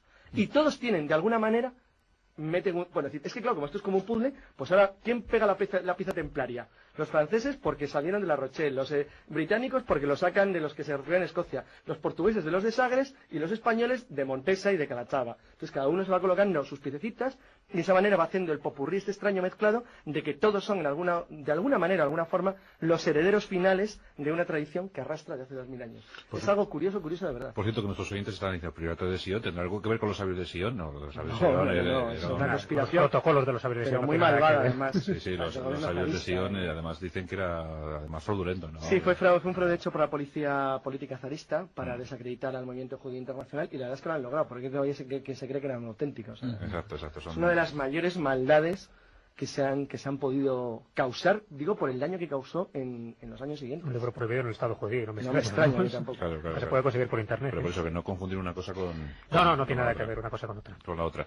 Bueno, pues eh, después de, de la muerte de, de Jesús, pues el Santo Sepulcro tuvo mucho que ver. Eh, se antes, podemos relacionar esto con la Sábana Santa, por supuesto, y se ha llegado a hablar que lo que se produjo dentro del Santo Sepulcro, Bruno, fue de tal magnitud que solo puede ser comparable a una explosión nuclear, ¿no? Sí, efectivamente. Eh, es el momento en el cual se supone que se produce la, resurrección física de Jesús y en la cual, justo en ese momento, en ese instante, eh, se mm, queda plasmada, queda plasmada la imagen el- de cuerpo entero de ese personaje en el lienzo. Lo- los análisis de la imagen, ya no hablamos de lienzo, hablamos de la imagen, han revelado cosas significativas. Ah, Y han revelado que se trata de algo parecido a una chamuscadura que ha manchado, entre comillas, solamente los, eh, las primeras, eh, las capas más superficiales eh, de, de ese lino. Pero que no fue la caja de plata, ¿no? De- del famoso incendio. No, no, no, ni, ni muchísimo menos. Y que fue, eh, y se han hecho incluso intentos de reproducir en tiempos recientes, eh, por parte de varios investigadores, de reproducir sobre un lienzo una imagen similar. Y para ello se han utilizado emisiones radiactivas. Y lo único que se ha logrado hacer similar a la sábana santa, y se han tratado de falsificar sábanas santas utilizando diversos procedimientos, y el más similar, el que ha conseguido un efecto más parecido con el efecto de la tridimensionalidad, con el efecto de que no exista ningún tipo de pigmentación, es precisamente aquel que ha intentado plasmar la sábana utilizando una, una radiación. Por lo tanto, por lo tanto, algunos investigadores de la Sábana Santa creen que el momento en el que se plasma la imagen de, Jesús, ese cuerpo emitió algún tipo de radiación desconocida que eh, provocó la chamuscadura. Claro, esto no se puede explicar de ninguna forma y menos si ocurrió hace dos mil años. Y es lo que ha servido a muchos eh, estudiosos para tratar de aventurar hipótesis mucho más atrevidas y audaces como eh, la posible naturaleza no humana ni tampoco divina, sino ajena a nuestro planeta de la figura de Jesús de Nazaret, que nos metería en un debate todavía mucho, mucho más eh, complicado y polémico. Y ahí ¿no? sí que Porque nos- claro, ahí sí que nos interviene el elemento tecnológico. Ahí sí que nos crucificamos. No, pero eh, acabas de decir una cosa muy curiosa que se nos ha pasado a hablar de la Sábana Santa, que es una cosa que está muy de moda, hombre, no se trata de hacer las pirámides de Egipto piedra a piedra, ¿no? Pero, pero sí que es verdad que la arqueología experimental está teniendo enormes logros en los últimos años. Por ejemplo, ahora van a intentar hacer un Moai, ver cuánto se tardaría hacer un Moai con el tipo de herramientas que tenían los polinesios, y parece que puede que lo logren, además, curiosamente. Pero bueno, que, que es el caso, el caso, bueno, si es falsa la sábana santa y se hizo en el siglo XIII, pues con materiales del siglo XIII coge usted y la hace. Y la hace, efectivamente. No, pero además lo que ha apuntado Bruno, fíjate que sería como la, la pieza angular para explicar, si es que se puede explicar, esa datación medieval de la prueba del carbono 14. Pero cuando se hizo, se hizo el la prueba del carbono 14 y se dijo eh, por parte de los creyentes en la Semana Santa que no podría ser nunca un método eficaz por cuanto una potente radiación desconocida, que es la posible causa de la formación de la imagen, hasta ahora no se sabe de ninguna otra explicación porque ya hemos descartado que haya pigmentación de ningún tipo. Luego, si ha habido una potente radiación desconocida, esto provocaría un aumento desmesurado de la cantidad de carbono 14 en el lino y por consiguiente se rejuvenece cientos de años. O sea, que la propia prueba de la resurrección podría marcar la prueba del rejuvenecimiento es- del santo Es lienzo. otra de las explicaciones que, es más, el, eh, no recuerdo exactamente el, nombre de este, de este científico, pero sé que estaba vinculado al, al Centro de Estudios eh, eh, CNRS, creo que es eh, francés, es un organismo francés o, o suizo, es un investigador ruso el que hizo esta experimentación y lo que provocó, lo que provocó fue utilizando un lino de hace 2000 años, eh, emitir una radiación eh, eh, suficientemente intensa como para provocar una impresión en ese lino de las mismas características de la sábana. Lo logró. Y posteriormente sometió a ese lino de 2000 años, pero eh, con una imagen impresa de origen radiactivo, a un análisis mediante el carbono 14. Le dio el resultado de que era del año 1300 que es curiosamente el resultado que se ofreció al datar la Sábana Santa es- creo que es cuanto menos muy significativo. Es decir, hay dos o tres posibles explicaciones y todas ellas muy racionales a, a por qué el carbono 14 erró. Pues caballeros, eh, llevamos hablando casi tres horas eh, sobre los misterios de la pasión y desde luego estos misterios han conseguido apasionarnos, a, a fe que lo han conseguido. Eh, ¿No piensas, Carlos, que después de, de tantos años, de tantos siglos, sigue siendo, es que sigue siendo lo más, deco- lo más desconcertante, ¿no? Claro, por lo que hemos dicho al principio, por la trascendencia que quiera o no ha tenido la figura de Sí, Jesús sí. en la historia de la humanidad. Tus conclusiones después de estas tres horas. Mis conclusiones, pues que supongo que en los próximos años seguirá y avanzará la investigación sobre el tiempo de Jesucristo y sobre eh, la vida en sí. Tarde o temprano se van a acabar encontrando cosas. Se van a acabar encontrando cosas porque el nivel de conocimiento que tenemos hoy, con el que se tenía hace solamente 100 años, o por no decir 50, es eh, increíble. Decir, lo que ha aumentado sobre todo después del año 45 mm, eh, ha permitido hacer una reconstrucción muchísimo más válida y mucho más acertada de lo que fue la vida en tiempos de Jesús de Nazaret y acercarnos con mucha mayor precisión a lo que fue su vida y su obra. Quedan que, siguen quedando aún flecos muy importantes como los famosos años ocultos en los que no se sabe exactamente lo que ocurrió que fueron eh, investigados a través del Evangelio Apócrifo de Tomás o eh, qué ocurrió con las tumbas de Jesucristo, las famosas siete tumbas del artículo de Jesús Callejo. Hay siete tumbas de Jesucristo en el mundo. Entonces, bueno, todos esos, esos datos seguirán, eh, bueno, todos estos misterios se irán ofreciendo, eh, pues se ofrecerán posibles soluciones en los años venideros en función de lo que vaya haciendo la arqueología, la investigación de las tradiciones o pura y simplemente la casualidad, como en la investigación de los manuscritos mm, que quedan aún en las grandes o viejas iglesias coptas, principalmente en Egipto, en Sudán, en, en- uy, en Sudán, en Etiopía o en Armenia. Pues yo creo que tienes razón. Eh, seguramente en este año 2001 eh, empezamos a averiguar más cosas que los propios coetáneos de, de Jesús. Hombre, desde luego sí, claro, pero que seguirá, seguirá hacia ese, ese camino yo creo que es imparable Sí. y que va a seguir aumentando el- el- los datos que tenemos sobre su vida y su obra. Muy bien. Tus comentarios finales, eh, Bruno. Que la ciencia tiene ese deber ¿no? de darnos respuestas sobre una figura que yo creo que ya debemos considerar históricas. Eso por un lado, la ciencia. Luego, por otro lado, la Iglesia debería permitir que ese conocimiento sea de más fácil acceso precisamente para los científicos, porque creo que ciencia y religión se pueden dar la mano y, en- y dentro hay muchos ámbitos dentro del mundo del cristianismo para hacerlo. La sábana santa es, es uno de ellos, pero es tan solo uno. Y el tercer reto la tienen los, los hombres, de poner de una vez en práctica eh, lo tan sencillo que, ese personaje dijo. No importa que fuera humano, que fuera sobrenatural, que fuera extrahumano o que no existiera. No importa en absoluto nada de la figura de Jesús, solamente importa que dijo, bueno, que seamos de una forma y que todavía seguimos sin hacerle ni caso. Seguimos sin hacerle ni caso. Bueno, pues que nos hable Jesús. Jesús calle con este caso. Bueno, pues eh, no sé, a modo de conclusión, Es el que faltaba en esta mesa, ¿verdad, ¿verdad Jesús? creo que hemos tenido aquí por lo menos el espíritu crístico con nosotros durante estas tres horas. Sí. A modo de conclusión, eh, bueno, pues hemos hablado de muchísimas cosas, de muchísimos flecos, algunos pues más o menos elaborados, eh, razonados, pero nos ha faltado, como siempre que se toca el espinoso tema de la religión y de las creencias, nos ha faltado evidencias. Por lo tanto, eh, hay que mojarse y yo me, mojo en este tema y, y a modo de resumen, pues quiero decir un poco lo que sería mi credo, mi credo particular, ¿no? Y mi credo particular es que, que creo en una realidad histórica de Jesús, creo que fue un hombre extraordinario, consciente de su misión, que poseía unas cualidades sobrenaturales y sin ninguna duda uno de los hombres más importantes de la historia de la humanidad. Creo que el juicio contra Jesús fue, como ya dije, una farsa que estaba llena de irregularidades procesales y creo que la gran mayoría de las reliquias de Jesucristo son falsas, con la salvedad del sudario de Turín y el pañolón de Oviedo. Y por último, creo que Cristo nunca instituyó ninguna iglesia y que ésta en muchas ocasiones ha encargado de malinterpretar su dimensión humana y alterar su mensaje divino. Este sería mi credo particular y que de alguna manera resume todo lo que he dicho aquí. Pues yo desde luego creo en la amistad y, nada mejor que tener amigos como Jesús Callejo, Carlos Canales, Bruno Cardeñosa, que puedan venir aquí a compartir tres horas junto a los oyentes de Onda Cero, de la Rosa de los Vientos, y hacernos disfrutar como ellos lo han hecho. Ha sido algo fantástico. El año pasado estuvo bien, eh, con dos horas. Nos propusimos el reto de tres, lo hemos conseguido. Y la verdad es que nuestros oyentes habrán quedado bien, bien, bien satisfechos con lo que Bruno, Jesús o Carlos les han propuesto. Es el gran misterio de todos los tiempos. Es la historia, como decía el cine, la historia más grande jamás contada. Y sospecho que vamos a seguir contando muchos y muchos años todo lo que rodeó, todo lo que envolvió a ese personaje tan carismático como fue Jesús, Jesucristo, Jesús de Nazaret.